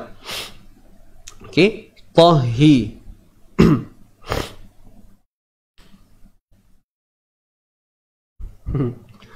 Boleh. Huruf ra ni kena tebal. Ra ni kena te tebal. Nampak ni? Ni alif mat sebelumnya baris atas. Ra. Au tahira baitiya. Baitiya. Okey. Ya yang mati sebelumnya baris atas. Ya yang mati sebelumnya baris atas. Alright. Ra ni dah tebalkan bunyi tadi. Tahira bai. Terus lembutkan bacaan pada sebutan bai. Bai, bai, bai, bai. Eh, baiti. Baiti. Ha, jangan bai, bai. Ha, jangan laweh benar bunyinya. Okey, laweh. Itu istilah dia. kan bunyi. Okey, baiti. Baiti. Al-tahira baitiya. Baitiya. Baitiya. Okey, ha, bacaan lin ni lunak ataupun lembut. Lembutkan di sini. Tia, tia, tia. Ni huruf ta baris bawah, huruf ya baris atas. Tia. Baitiya lil taifin.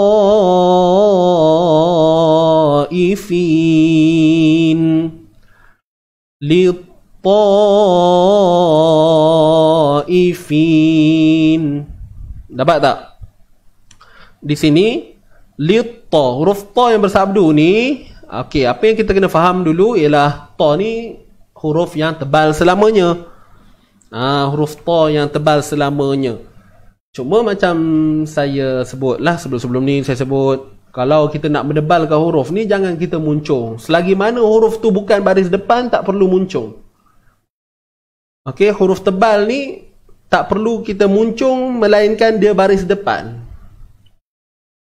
macam to ni sekarang. Kita tahu dia tebal dan dia baris depan tak? Bukan. Dia baris atas. So bila kita nak sebut to, to, to, to, tak perlu kita mun muncung. Macam mana muncung? To, to. Unsur tebal tu masih ada kekal. Cuma teknik kita tu kurang tepat. Baiti to. Nampak? Bunyi tebal tu ada Tapi tuan-puan akan dapati Rasa macam ada bunyi oh, Sebab apa? Sebab kita muncung Baiti alil to Nampak tak? Baiti alil to ifi to Mulut kita akan terbuka lah. Cuma jangan mun muncung. Ingat tu. Right uh, Kalau lah huruf ta ni baris depan Tu uh, Baru kita muncung bi Bibir. Itu sahaja. Boleh? Baitiya lil Taifin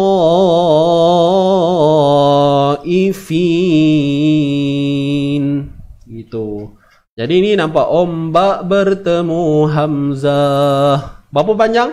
Empat atau li? Lima ha, empat atau lima harakat. So tuan-tuan perempuan ini hukumnya mat wajib mutasil mat wajib mutasil huruf mat iaitu alif ini bertemu dengan hamzah dalam satu kalimah. Baiti yalid taifin. Gitu saja. Alright dan fin ini kita berhenti dengan kadar 2, 4 atau 6 mad arid li sukun. Dapat tuan-puan? Wa ahidna ila Ibrahim wa Ismail an tahhira baitiya lid Ha.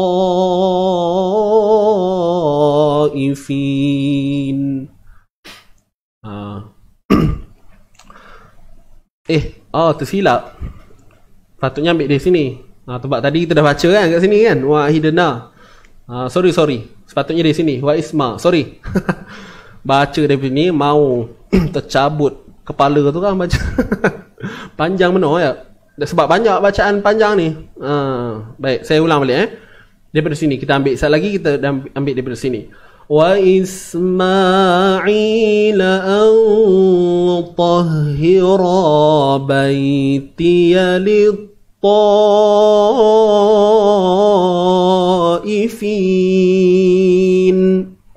gitu. Okey sedia semua? Tercedok kau baca daripada sini Kita ambil wa Ismail eh daripada sini. Wa Isma. Okey, sedia. Satu, dua, mula. Wa isma Okay, dapat ni ha. Sekali lagi eh, sekali lagi Relax Satu Dua Mula Wa isma'il an tahhira baitiya lil taifin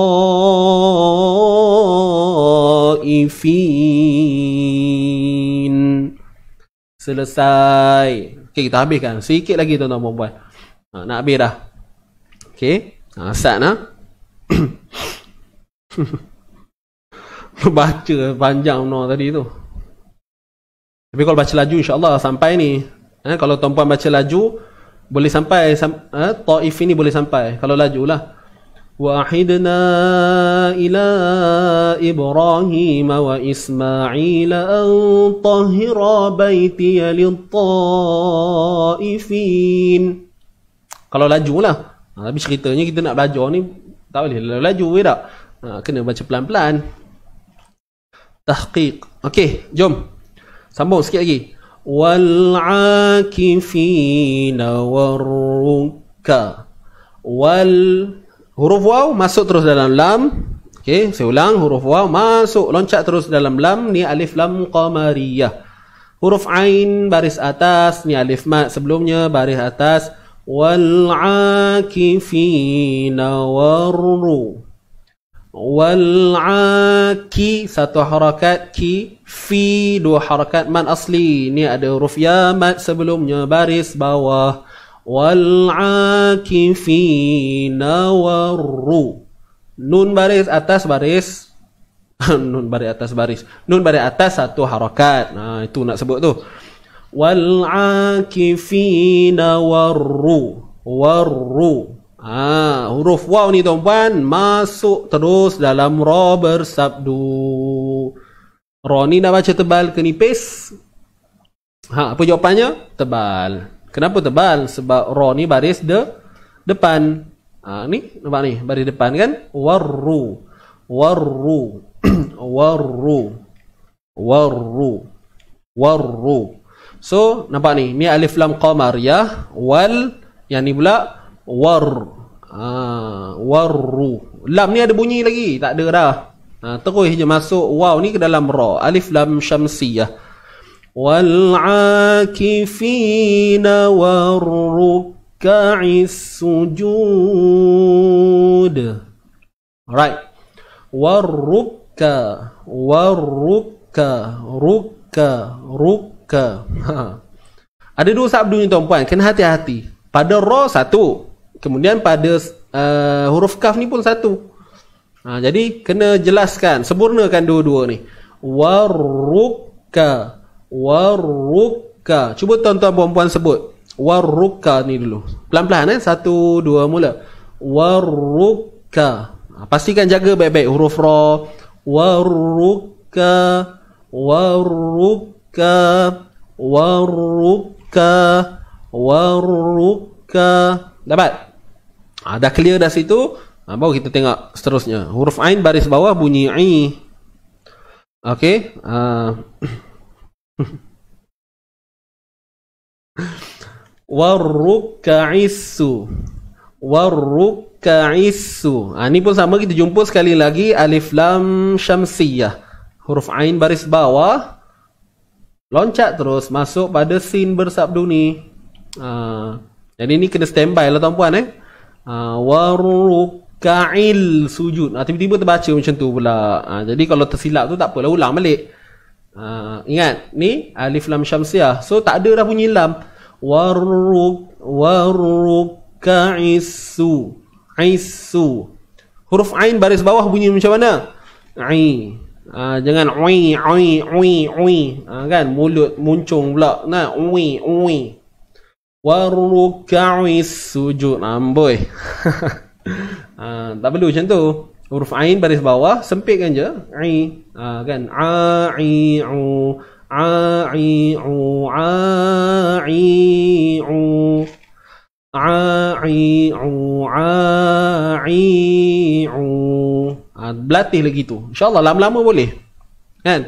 Ha, berlatih daripada bunyi yang satu harakat tu masuk dua harakat masuk tanwin. A'i'u a'i'u an in un.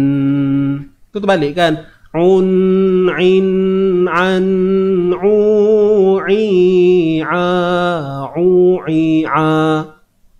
Tuan-puan berlatih tu buat kan huruf-huruf yang susah tu semua. Buat je teknik yang sama. Sebab dalam Quran kita sebut benda tu je.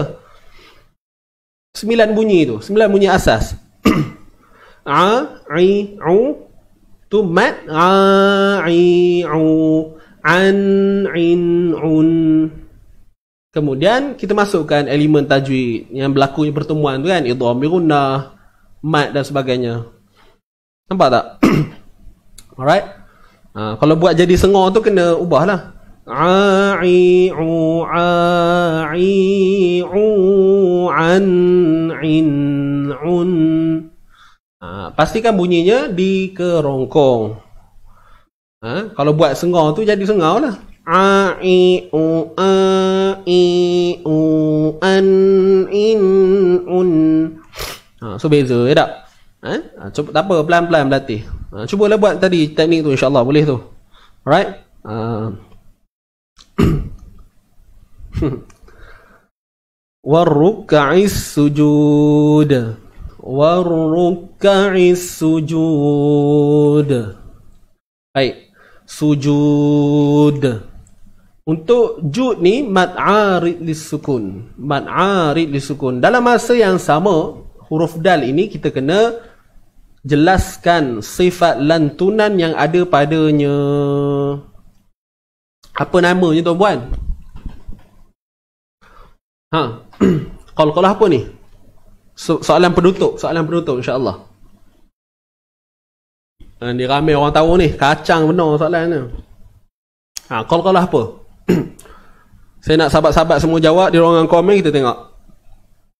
Mesti semua jawapan betul. Confirm lah. Ha, jamin.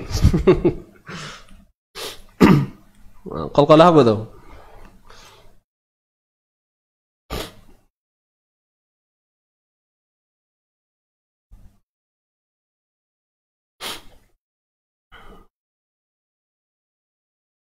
Kacang rebus.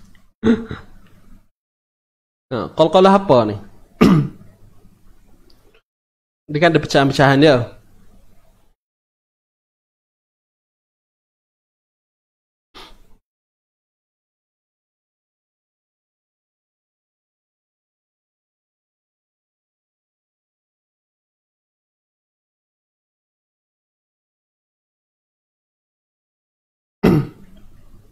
qalqalah كبرى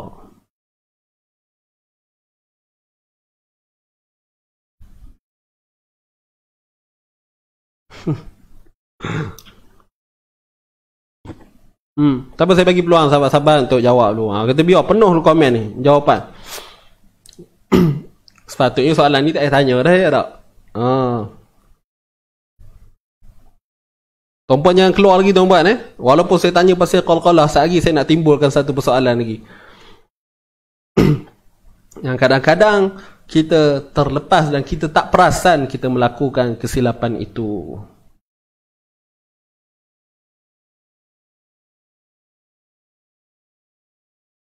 Tak aci tiru. Uh, ni mana ada tiru ni. Saya rasa semua type ni tutup mata ni. Sebab nak jaga hati. tak nak jawapan sama dengan orang.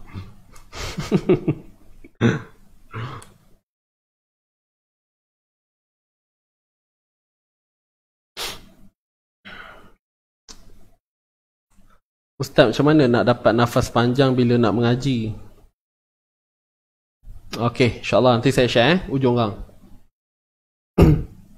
Sebenarnya soalan ni ramai dah tanya. Ah, tapi tak apa, kita ulang lagi, jangan risau. Alright? Uh, macam mana? Uh, siapa yang nak dengarkan pencerahan macam mana nak bagi nafas panjang eh. Uh, saya tak lah kerti mana. Tapi tak apalah, lagi saya share. Kita nak settlekan ini dulu.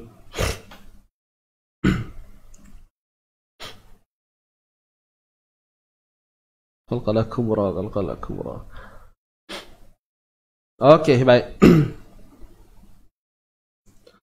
Bismillahirrahmanirrahim. InsyaAllah kita bincangkan. Uh, walaupun soalan ni sangat-sangat orang kata kacang benar kata kan? istilahnya kacang benar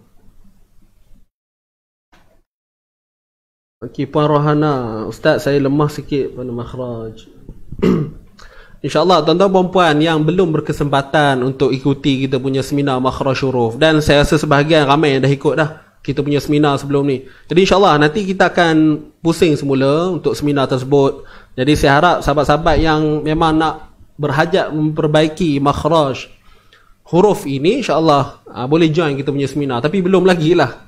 Uh, belum sebab kita dah buat baru buat hari tu. baru buat. Uh, jadi kalau nak tahu respon ataupun dari sudut keberhasilannya boleh tanyalah sahabat-sahabat. Saya tak naklah cakap lebih-lebih.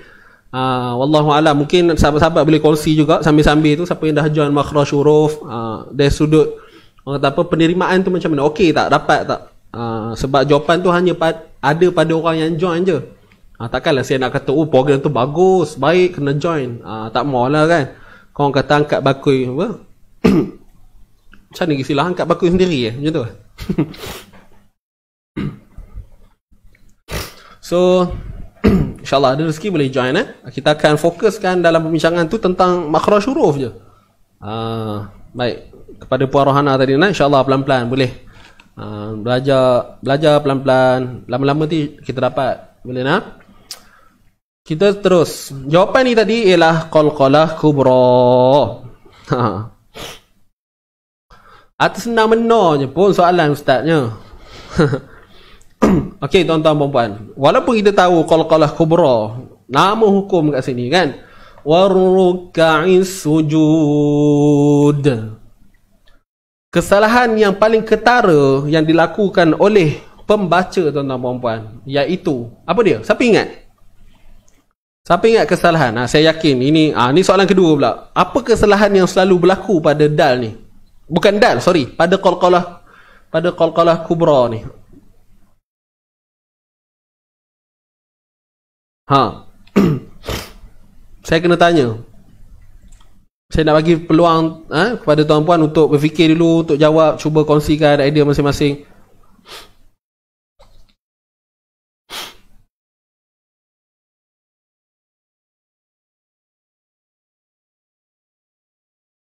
Ha, maduk bakui junjung sendiri. Okey, terbaik terbaik. Kita tahu dia qalqalah kubra, tapi kita tak perasan dalam kita melafazkan bacaan tu ada kesilapan yang kita lakukan. Apa dia? Kita lantun, tapi lantunan kita tu salah, ada kesilapan.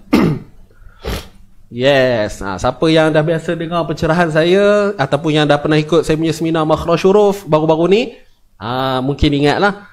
Yang mana, okey saya cerita terus tuan-puan eh dalam kita nak meng, apa, menghasilkan sifat lantunan ini pastikan jangan ditambahkan bunyi hamzah jangan ditambahkan bunyi hamzah di hujung contoh saya baca perlahan sikit eh. Wal akifina sujud. D tu belakang sujud. D d d. Nampak? D. Bunyi hamzah tu. Cuba tuan puan baca balik ada ada tak bunyi hamzah tu? Kalau tak ada tu kira selamat lah. Ha, kira terlepas lah tu. Ha, maksudnya salah dari segi kaedah membunyikan lantunan itu. Jadi macam mana yang sebenarnya? Wal akifina warruk ruka'is sujud. D. Bunyinya lepas. Sujud. D. D. Bukan d d dengan d beza. Dengar baik-baik. Saya buat yang pertama bunyi hamzah. Sujud. Sujud. Yang kedua bunyi yang sepatutnya sujud. Sujud. Beza dengan sujud. Bunyi de kat belakang tu bunyi hamzah qul huwallahu ahad. De nampak bunyi hamzah? Allahu samad. De bunyi belakang hamzah. Lam yalid wa lam yulad. De de lagi. Wa lam yakul lahu kufuwan ahad. De de ada dua lah. Dia, dia, kategori orang yang lakukan kesalahan ni dua. Yang pertama dia hilang langsung. Qalqalah pun tak ada bunyi. So tak payahlah cerita pasal Hamzah tu dah kalau qalqalah pun tak ada confirm lah Hamzah tu pun tak ada dan ada kesalahan pula ha, lantunan tu dah ada tapi bunyi ke Hamzah pula Baik teman-teman eh ha, jangan ditambahkan bunyi Hamzah Benda ni bukan direka-reka tuan-tuan eh. Tak, ha, boleh tengok dalam kitab At-Tajwid Musawwar daripada Dr. Aiman Suwaid. Di kitab Arab lah. Ha, boleh tengok. Dalam tu dinyatakan. Sebab jarang cerita point ni. Dalam kitab tu je yang saya jumpa ada tulis pasal Hamzah ni. Pada kitab-kitab lain yang saya baca, uh, ada cerita pasal qalqalah ni. Tapi dia tak dia tak ceritakan tentang kesalahan tu. Ha, jadi dalam kitab Dr. Aiman ni, uh, Dr. Aiman Suwaid, dia daripada Allah masalah. Dia daripada mana eh? Saya lupa lah. Syria kot. Saya lupa lah. Saya ingat dia daripada mana. Dia orang Arab lah. Eh? Syah Arab. So, dalam tu je dia ceritakan kesalahan. Eh, dia cuba. Saya macam wow. Benda ni betul tau. Ah, benda ni memang banyak sangat orang buat. Bukan tuan je. Mungkin lah tuan eh. Saya sendiri pun dulu macam tu. Ah, terus terang cakap. Saya, dili, saya sendiri pun dulu baca kal-kalah ni dengan bunyi Hamzah kat belakang. Sebab tak tak pernah tahu pun. Ha, tapi bila tu lah kata bila dah belajar, belajar, belajar. So, saya share kat ustaz. Eh, kat ustaz. saya share lah kat tuan puan. Okay. Ha, Wal'akifina warruka'is sujud. Lepaskan je. De. Bunyi de. De. De. De. Ha, jangan de. Beza eh. De dengan de beza. Alright. Ha, mungkin ada yang baru tahu. Siapa yang baru tahu ni? Cuba respon sikit. Ha, tak apa tuan puan. Jangan malu. Ha, saya rasa puas hati pagi ni. Dapat juga cerita benda ni. Lagi satu satu. Ha, udah lah tu. ha. dia uh, peringkat awal kita nak ubah tu tuan-puan. Kepada mereka yang dah biasa bunyi hamzah ni mungkin fasa awal ni nak tukar tu mungkin agak susah sikit. Ha, tapi insyaAllah lah pelan-pelan eh. Ha, cuba lazimkan pada surah tu. Surah al-falaq. Qul a'udhu bi rabbil falaq. Min syarri ma khalaq. Khalaq. Ha, jangan khalaq. Ha, beza tu.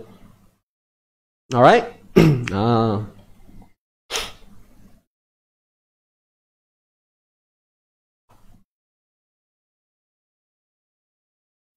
Betul tuan-tuan. Benda ni memang saya rasa macam ya Allah, kenapa? Tak memang tak pernah tahu.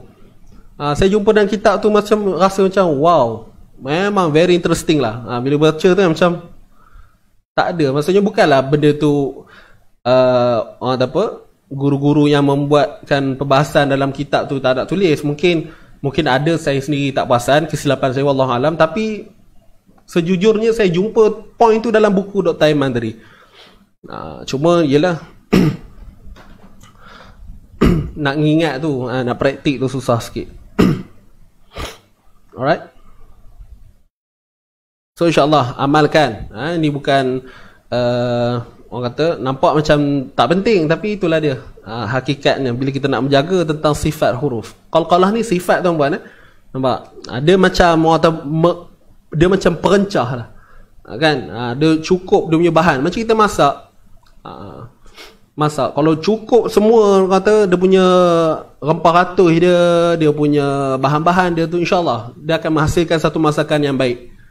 Tapi kalau kata tak ada semua pun boleh jadi juga. Betul kan? Boleh jadi. Ha, cuma yang asas-asas tu kena ada. Ha, cuma dia tak cukup sebab tak cukup rempah. Ha, mungkinlah rasa tu kurang sikit. Ha, jadi begitulah Quran. Dia sifat huruf ni adalah dia pelengkap. Gitu. Alright.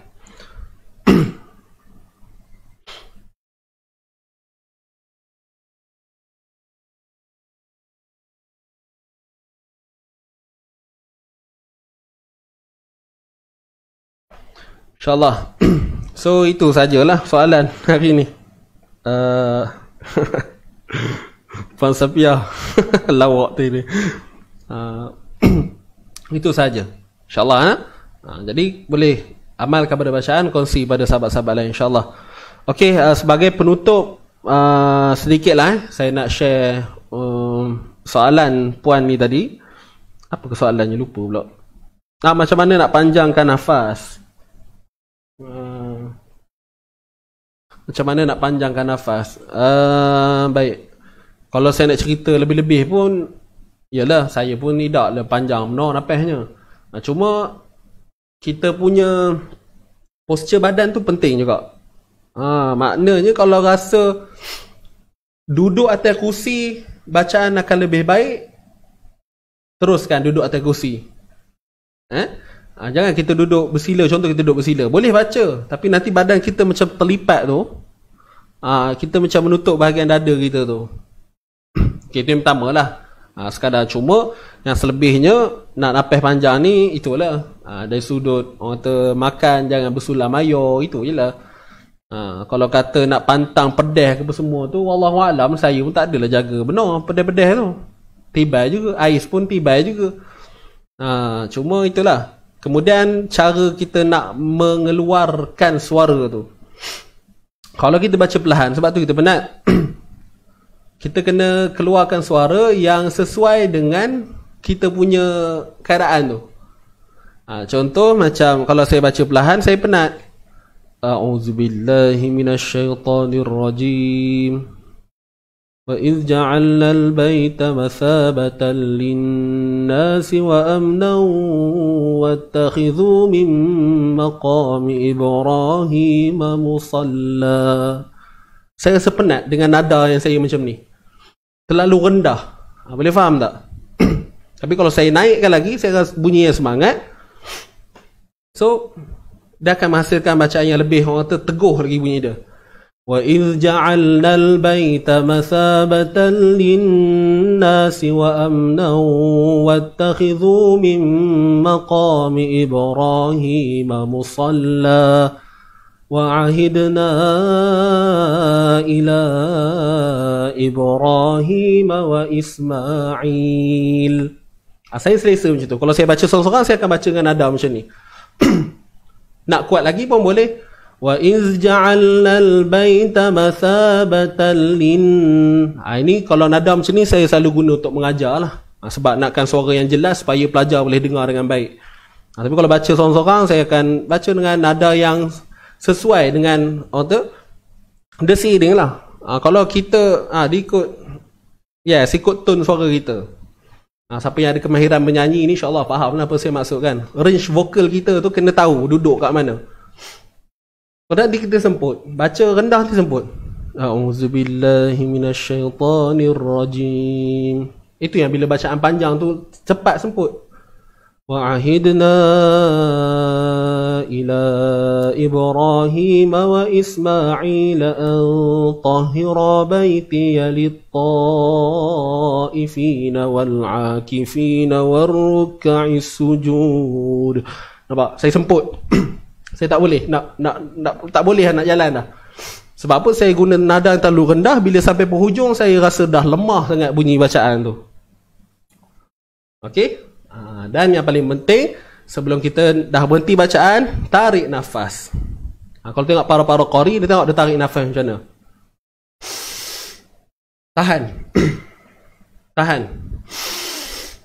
وإذ جعلنا البيت مثابة للناس وأمنا واتخذوا من مقام إبراهيم مصلى وأعهدنا إلى إبراهيم وإسماعيل أن طهر بيتي للطائفين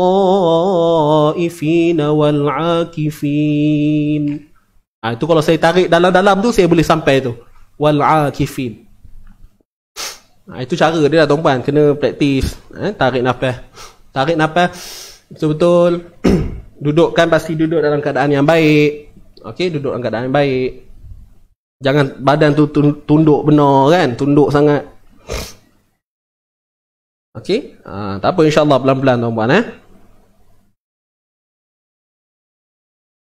Allah Ta'ala alam. Saya sudah umur 70.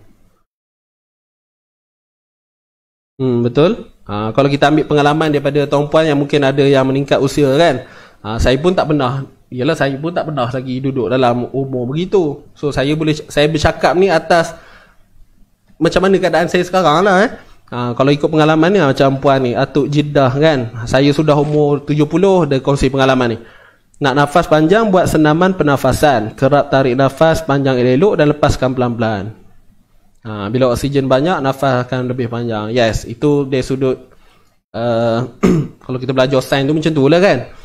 Uh, Apa insyaAllah? Ha, Mudah-mudah tuan-puan uh, diberikan nikmat kelazatan baca Quran tu. Uh, tapi itulah kelazatan baca Quran tu dia dihadiri dengan benda-benda ni lah tuan-puan. Uh, kalau baca bunyi malas aja kan jengui tak jengui bunyi ada timbul tak timbul bunyi dah. Uh, so nanti nanti jadi bosan so kalau kita baca kuat-kuat uh, baca dengan otot nafas yang baik kita pun jadi semangat nak baca itu sajalah Okay, uh, saya nak cerita lebih pun sebab saya pun bukanlah orang yang menjaga sangat. kan kata pedas air tu eh tak. Kadang tengah pagi berbantai air tu. Kan. Maksudnya bukan yang orang yang beria sangat menjaga lah ya. Ha, itu je lah. Wallahu Benda ni kena berlatih tuan-puan. Eh, kena berlatih insyaAllah. Okeylah. Uh, so, itu saja untuk pagi ni. Saya nak kita teruskan dengan uh, bacaan yang terakhir insyaallah untuk pagi ini boleh kita baca dulu sama-sama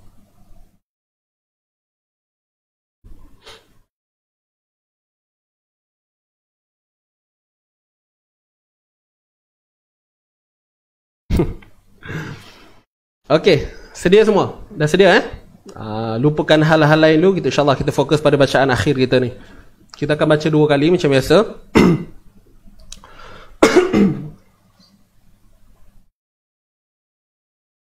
Okey, insyaallah jom kita mula.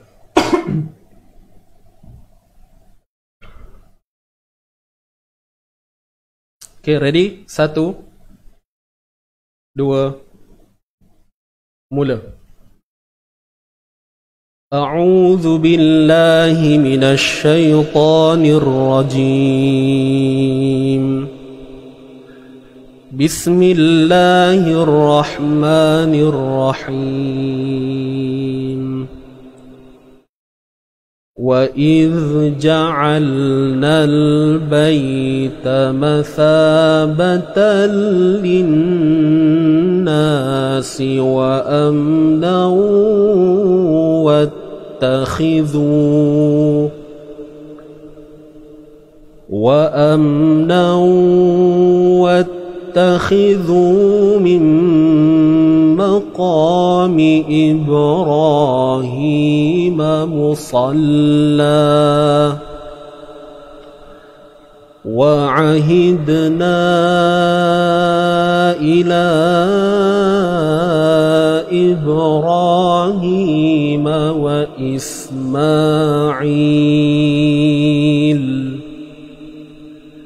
وإسماعيل أن طهر بيتي للطائفين والعاكفين.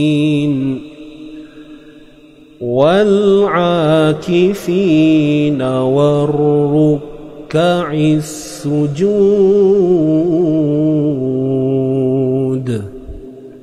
صدق الله العظيم Okey, kita baca sekali lagi. Okey, uh, kali ini laju sikit. Sedia semua? Satu, dua, mula. أعوذ بالله من الشيطان الرجيم بسم الله الرحمن الرحيم.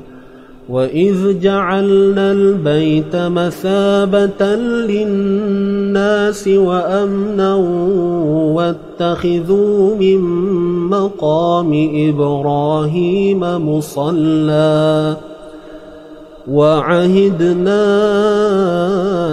إلى إبراهيم وإسماعيل أن طهر بيتي للطهر الطائفين والعاكفين والركع السجود صدق الله العظيم صدق الله العظيم Okey. nah itu tadi tu namanya lagu Nahawan. Okey, lagu Nahawan. Insya-Allah. Okey, uh, terima kasih semua. Saya rasa itu sajalah untuk pagi ini. Dan mohon maaf anda ada kekurangan, ha, kesalahan dalam penyampaian, saya mohon maaf. Kalau ada kesalahan, boleh uh, PM saya lah. Takut ada yang saya terlepas pandang kan. Jadi itu sahajalah. Uh, petang ni tak ada apa. InsyaAllah tuan-puan hari Khamis nantilah back to basic eh. Uh, lambat lagi hari baru Isnin. Nanti saya remind semula lah. Dan kepada mereka yang daftar untuk seminar Easy Tajwid, insyaAllah kita akan jumpa pada hari Sabtu ni insyaAllah. Pada hari Sabtu. Uh, terima kasih kepada mereka yang join. InsyaAllah mudah-mudahan ada input uh, buat tuan-tuan perempuan yang mendaftar. Dan sahabat-sahabat lain yang tak sempat, yang belum berkesempatan nak daftar, insyaAllah next time boleh join lagi. Kita akan terus menerus buat eh, seminar, eh, pelbagai seminar. InsyaAllah, saya rasa itu sahaja uh, daripada saya pagi ini. Tak ada apa dah kot ya. Kita tangguhkan dahulu dengan bacaan tasbih kafarah wa suratul asr. Bismillahirrahmanirrahim. Subhanakallahumma wa bihamdik. Ashhadu an la ilaha illa ant. أستغفرك وأتوب إليك بسم الله الرحمن الرحيم والعصر إن الإنسان لفي خسر إلا الذين آمنوا وعملوا الصالحات وتواصوا بالحق وتواصوا بالصبر Sadaqallahul azim. Okey, kita jumpa lagi tuan-tuan dan puan Insya-Allah jaga diri. Okey, sahabat-sahabat yang duduk di kawasan zon merah, saya doakan agar semuanya uh, sembuhlah. Moga Allah mengangkat uh, wabak ini insya-Allah dan moga-moga kita diberikan uh, uh, nikmat untuk meneruskan kehidupan ini seperti biasa seperti sebelum-sebelum ni. Dan insya-Allah mungkin bila Allah izinkan kita untuk uh, hidup dengan keadaan yang seperti sebelum ni, maka di situ bermulalah orang kata apa? Perjalanan hidup kita dan di situlah juga menunjukkan bahawa kita ha, mengambil segala nikmat yang Allah bagi itu. Baru kita rasa bersyukur tu. Kan? Ha, jadi mungkin sebelum ni kita selalu hidup seronok sangat. Ha, jadi bila Allah lempar ke ujian macam ni pada kita, so baru kita tahu betapa indahnya kehidupan kita seperti sebelum ni.